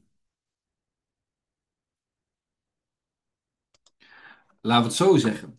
Waar zitten receptoren voor vitamine D? We zagen al een slaapprobleem, zo zijn we daar begonnen. Oké, dus in de nucleus suprachiasmaticus zitten receptoren voor vitamine D. Als die niet gevuld zijn, dan kunnen we een slaapprobleem krijgen. Ik zeg niet altijd, dat kan. Ja? Oké. Darmen, hersenen, huid, bijna, bijna. Oké, wat hebben we dan nog meer inderdaad? In de darmen. Ja, heeft deze mevrouw darmklachten? Ja, heeft darmklachten. Oké. Heeft vitamine D invloed op het immuunsysteem en de kwaliteit van de darm? Ja, want daar zitten receptoren. En musculoskeletaal. Ja, dus spierweefsel is enorm um, belangrijk. Of uh, sorry, vitamine D is enorm belangrijk in spierweefsel. Dus als een klant binnenkomt met een duidelijk slaapprobleem, chronisch pijnklachten, wat hier speelt, Um, en darmklachten, het liefst met een lage weerstand, dat is niet helemaal zo, maar dan heb je dus een bepaalde driehoek waarvan je weet, hé, wacht even, die klant heeft ze alle drie. Het garandeert nog steeds niks, maar je wilt wel komen tot patroonherkenning. En dan kun je de arts bellen, zeg je, ik wil graag vitamine D laten prikken. Dan zegt de arts, hoezo dan? Dan zeg je, nou, ik weet dat en voor slaap en voor musculoskeletaal weefsel um, en voor de darmen vitamine D belangrijk is. Deze klant heeft ze alle drie. Zit ook veel binnen, um, et cetera. In Nederland komen we sowieso moeilijk aan onze vitamine D, dus puntje, puntje, puntje. En dan gaat die huisarts dat gewoon prikken. Dan wil je natuurlijk het cijfer weten. Uh, ja, cursisten weten wel hoe je het communiceert met een arts. Maar dit is dus ook, tijdens de cursus bespreken we dit van begin tot eind, hoe je dit aanpakt. Ja? En inderdaad, de normwaarden met vitamine D liggen regulier heel laag. Tijdens de cursus leer je ook hoe communiceer je met een arts zonder enige vorm van weerstand om toch te gaan naar vitamine D-waardes van 80 of 100 millimol. Ja? Maar ja, goed, ik kan niet alles in een webinar uh, proppen. We zijn al best uh, ver namelijk. In de tijd ook. Uh, ja, recap heb ik eigenlijk al gegeven. ik hoop, dat als je dit voor het eerst bijwoont, ik hoop eerst dat je het leuk vindt, eh, interessant vindt, dat je het waardevol vindt. Eh, ik hoop ook dat je al wat meer affiniteit begint te krijgen met de term denk veel, doe weinig. Dus waarom cursisten veel gebruik maken van het zes model, wat uitgebreid in de chat naar voren kwam. Waarom ze veel gebruik maken van de Visus vragenlijst, is omdat ze veel willen denken, zodat de klant weinig hoeft te doen. Waarom nog meer? Er is praktisch geen klant meer te vinden waarbij maar één domein dominant is. Welke problematiek het ook maar is. Hormonaal, chronisch pijn, energieniveau, niet kunnen afvallen, een auto-immuunaandoening, een burn-out, angstige depressieve gevoelens, etc. Er zijn altijd meer domeinen uit balans. Daarom wordt die visus vragenlijst zoveel gebruikt. Uh, daarom halen uh, de door ons opgeleide specialisten, want ik ben niet de enige docent meer, daarom halen die zulke bizarre resultaten. Daarom krijgen die doorverwezen door huisartsen, darmspecialisten, endocrinologen, dingen. Daarom gaan we nu dus bij de grootste bedrijven van Nederland bizarre pilots opzetten. Daarom gaan er waarschijnlijk twee, maar zeker één universiteit onderzoek doen naar deze methode. Ehm, en over vijf jaar is dit makkelijk zeggen, want dan is het allemaal al gebeurd. Ehm, maar dit gaat allemaal in 2025 van start. Ehm, omdat dit heel erg belangrijk is om met je klant te doen.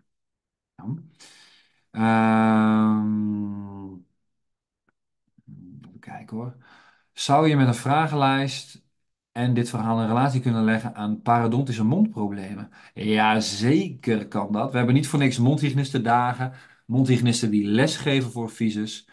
Uh, dus ja, zeker. Oh, je kent Nanette, dus dan ken je het hele principe. Uh, wat voor codes kun je declareren? Dan moet je even aan Nanette vragen. Voor de mondhygiënisten weet ik dat niet. Uh, ja, waar vind ik behandelaars dat ik mijn patiënten kan verwijzen? We zijn één stapje verwijderd van um, dat de belangrijkste specialisten op de site staan. Nu is er ook al echt wel een.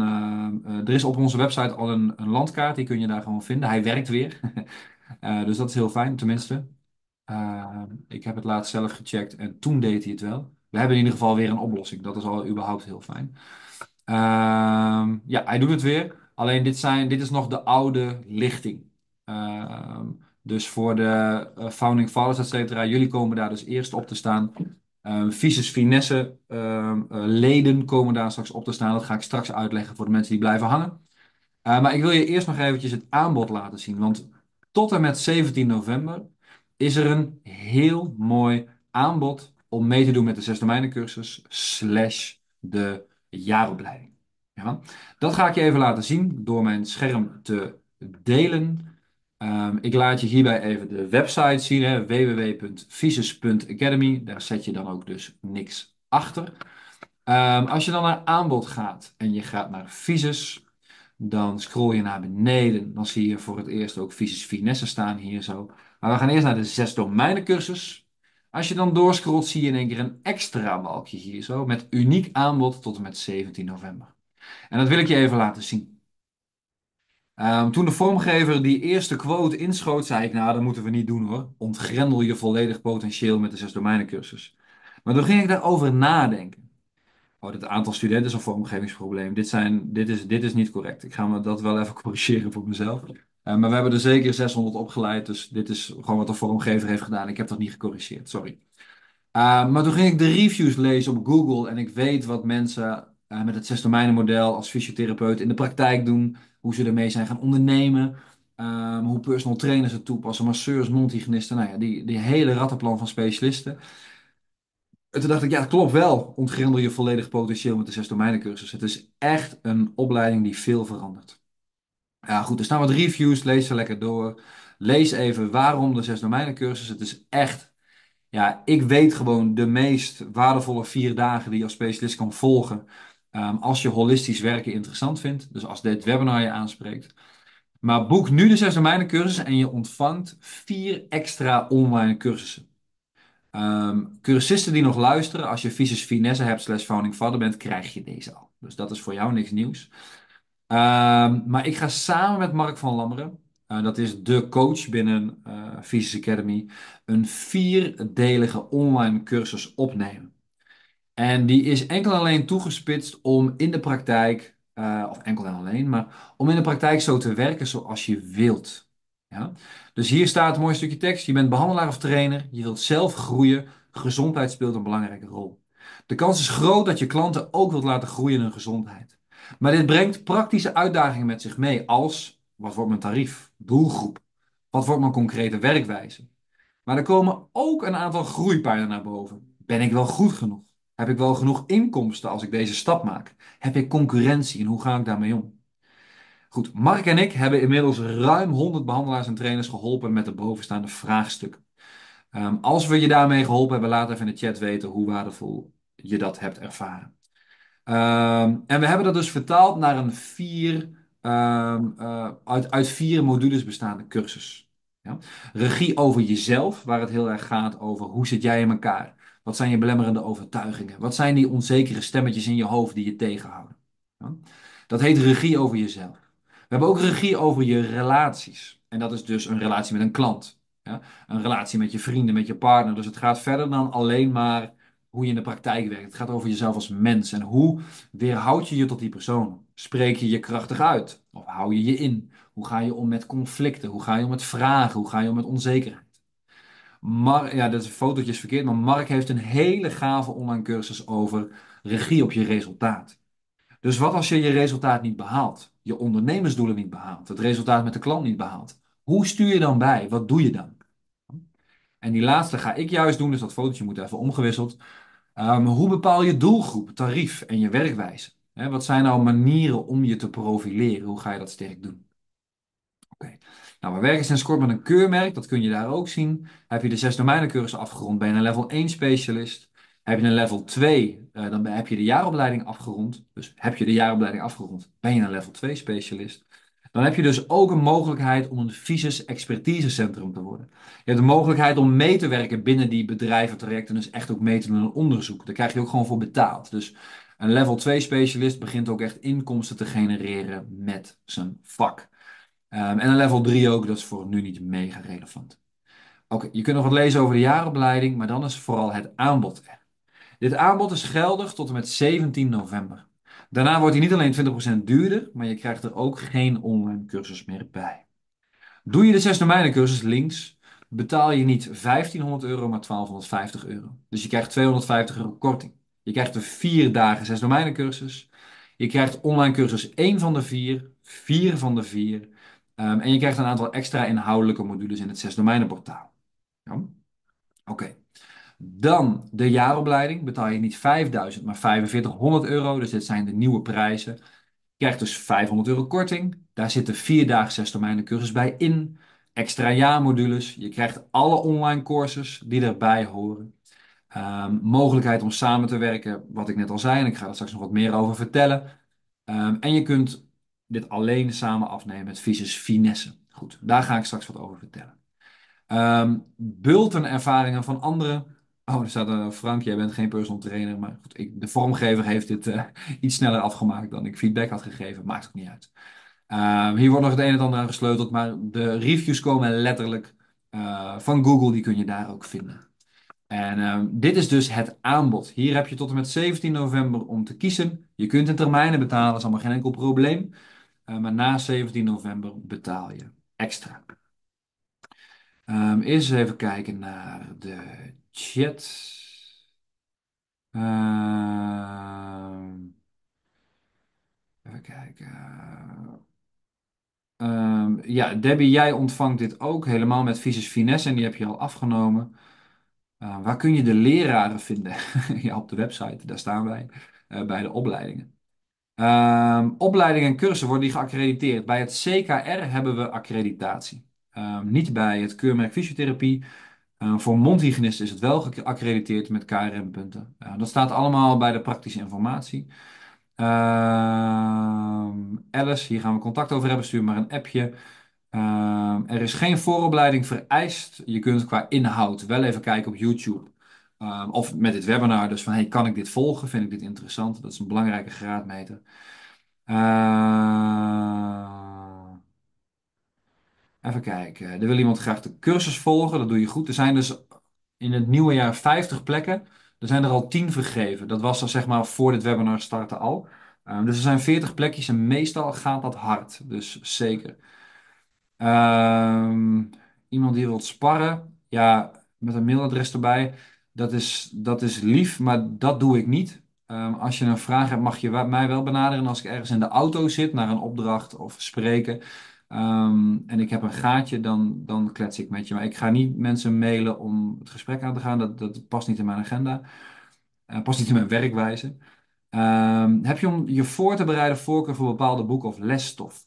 Nou, kijk, zodra je aanmeldt, krijg je toegang tot het online portaal. Er staat studiehandleiding in, et cetera. En daar word je echt goed mee geholpen. Dus dan heb je, denk ik, voorbereiding genoeg. Dat komt wel goed.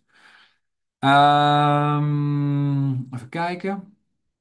Dat zover. Oké, dan zijn er. Nu ga ik over naar het punt waar ik nog wat meer ga vertellen over samenwerken met visus.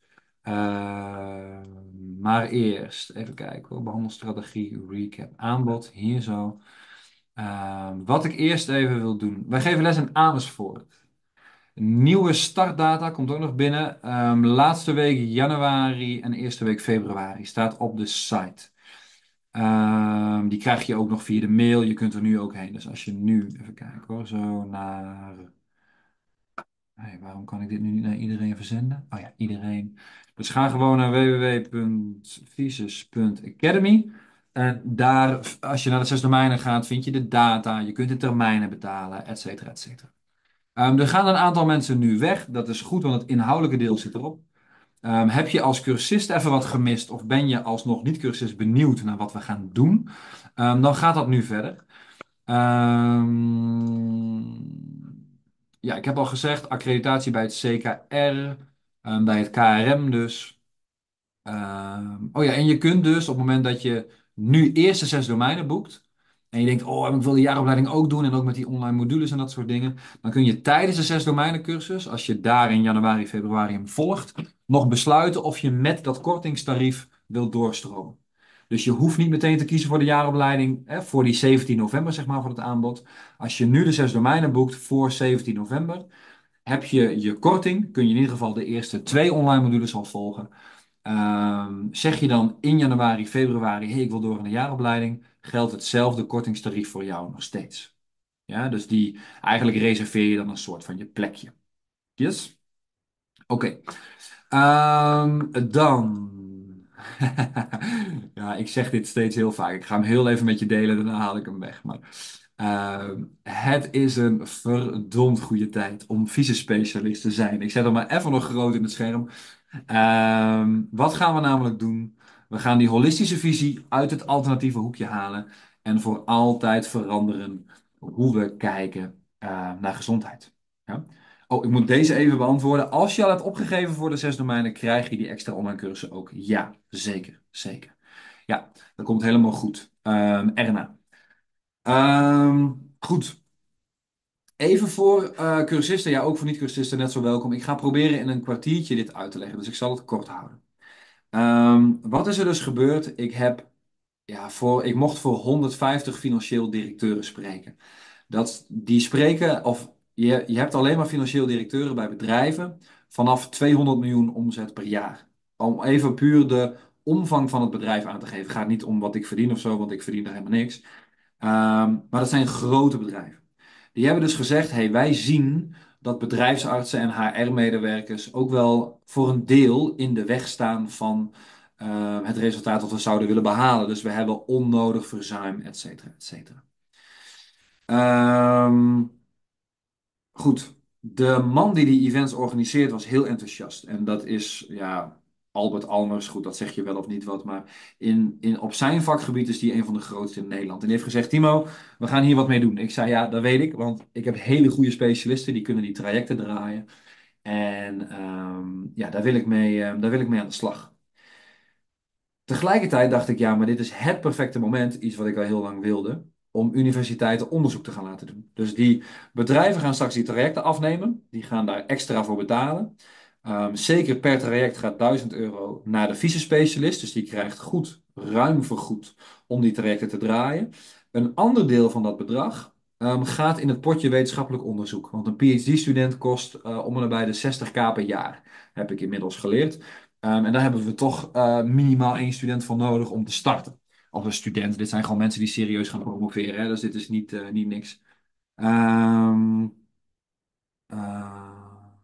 Even kijken. Alice, ik snap je vraag niet helemaal. Dus zou hem ietsje uitgebreider willen maken? Ehm, oké, dus wat gaat daar gebeuren? Ehm, die directeuren krijgen dat product gepitcht. Daar gaan er een aantal van instappen. En ik heb het product ook gepitcht aan Albert. En die zei, joh, hoe het product nu staat met die trajecten. Hij zei, er gaan heel veel CFO's mee willen doen. Echt veel. Dus dat heb ik nu bevestigd gekregen. Dat is fijn. We zijn nu de site aan het bouwen, et cetera, et cetera, et cetera. En daarmee gaan we starten. Wat is er gebeurd? Ehm, tegelijkertijd. Wacht, ik laat heel even een stilte vallen. De info die je nu gaat geven. Ah, zo. Eh, de info die ik nu ga geven is als founding father. Ja, dat is allemaal bekend. Ja, zeker. Als je founding father bent en je denkt, ik hoef niet nog een keer te horen, is dat prima. Maar als je denkt, wat heb ik als cursist gemist, dan moet je even blijven hangen nog. Want aan de ene kant gaan we dus met trajecten draaien binnen grote bedrijven, onderzoeken draaien. En dat gaat hoe dan ook sneeuwballen. Ik heb met heel veel cursisten gesproken. En die zeggen, ja, maar het is vrij makkelijk om het beter te doen dan de stressgerelateerde trajecten nu op de werkvloer. Dus Hè, ik mag daar elk jaar opnieuw aan die CFO's de resultaten laten zien. Er komen onderzoeksresultaten bij. Dus elk jaar gaat dat sneeuwballen. Elk jaar gaan we meer partijen laten aansluiten. Dus er komt ook meer werk uit. Albert bevestigde mij dat ook. Als je dit waarmaakt, en ik heb ook gezegd, joh, als wij bij 70, 70% van de mensen goede resultaten behalen, uh, zeg maar, dat heb ik eerst voor ogen. En Albert zei, ook al doe je het voor de helft, dan willen bedrijven echt heel graag met je samenwerken. Ja, dus dat staat er heel goed op. Tegelijkertijd heb ik natuurlijk wel de kwaliteit hoog te houden. En dat is dus het hele product Visus Finesse, wat je als cursist misschien gemist hebt. En um, Visus Finesse, ik typ hem hier ook gewoon eventjes, dan kun je er zelf naartoe. Um, Visus Finesse wordt dus ons eigen, uh, nou niet alleen ons eigen online portaal. Oh, wacht, ik moet hem even aan iedereen sturen. Oké. Um, ja, dus ik heb even aan iedereen gestuurd. Dit is de pagina. visus.academy slash finesse. En wat je daarin gaat zien is, we bouwen één, onze eigen online omgeving. Um, voor een deel ook AI gestuurd. Gaan er hele gave dingen uitkomen. Er komen elk jaar extra online courses in te waren van 750 euro.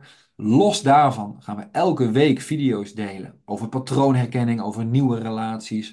We gaan wat extra relaties uit dit webinar bijvoorbeeld uitdiepen, zodat je continu op de hoogte blijft. Plus, daar komt een jaarlijks congres bij. Zet 13 juni vast groot in je agenda. 13 juni is het eerste Visus-congres, waar we met 100, waarschijnlijk 100, ja, nee, er zijn 90 stoelen, ik moet wel eerlijk zijn. 90 is, is vol. uh, gaan we het eerste Visus-congres hebben. Um, er komt een professioneel spreker. Er komen natuurlijk onze. Uh, ja, ik ben eigen zelf natuurlijk professional spreker, maar er komt nog een extra professional spreker. Um, echt van grote, is echt een grote naam in Nederland.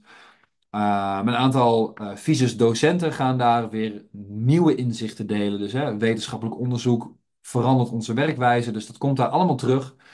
En dat congres en dat online platform kun je nu als cursist aanschaffen voor maar 399 euro per jaar. Ja, dus je kunt, eigenlijk is dat nog geen vier tientjes per maand, bijna drie tientjes per maand zelfs, een bizar bedrag. Daarvoor kun je elk moment van de dag in je mobiel, via je, uh, via je laptop, wat dan ook, kun je bij dat online portaal. En je bent elk jaar bij het Visiscongres.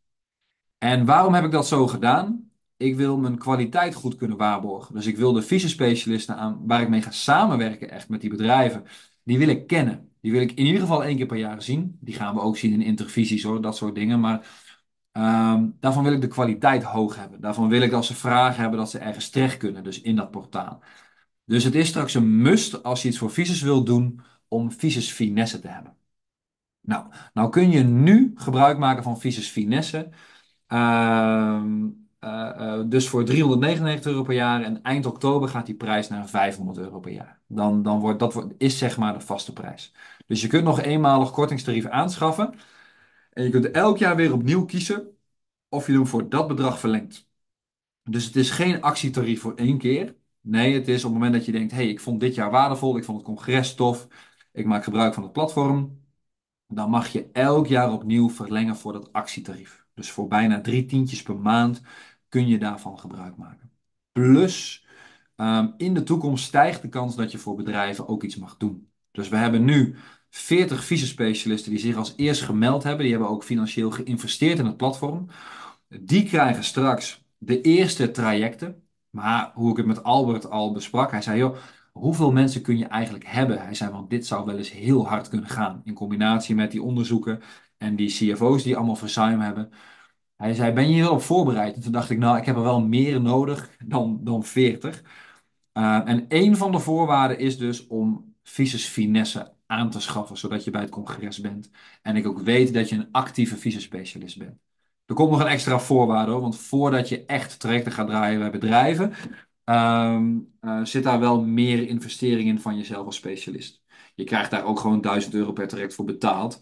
Uh, dus daar staat nog wel wat tegenover. Voor Founding Fathers niet hoor, er zit geen addertje onder het gras. Jullie hebben jullie investering gedaan, dat is allemaal duidelijk. Um, en Jan, we moeten nog even een afspraak plannen, bedenk ik mij nu. Ik jou zie, dan moeten nog eventjes uh, compleet maken.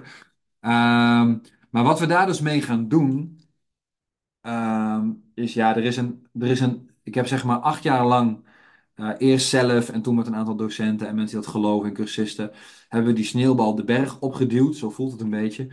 En met de komst van het boek en nou ja, bij wat grotere namen in de podcast en mensen die erachter zijn gaan staan, er zijn zeg maar precies de juiste mensen achter gaan staan. Dus ik heb in elk vakgebied, bedrijfsmatig, financieel, op sprekersgebied, op events, hebben de grootste van Nederland gezegd: Timo, we gaan je helpen. En dat helpt. dat helpt nogal. Dus die sneeuwbal die ratelt als een gek van de berg af. Um, en ik heb vice-specialisten nodig die op het moment dat die bedrijven, straks zeggen 30, 40 bedrijven, hey, wij doen mee. Die gaan allemaal drie tot vijf werknemers insturen.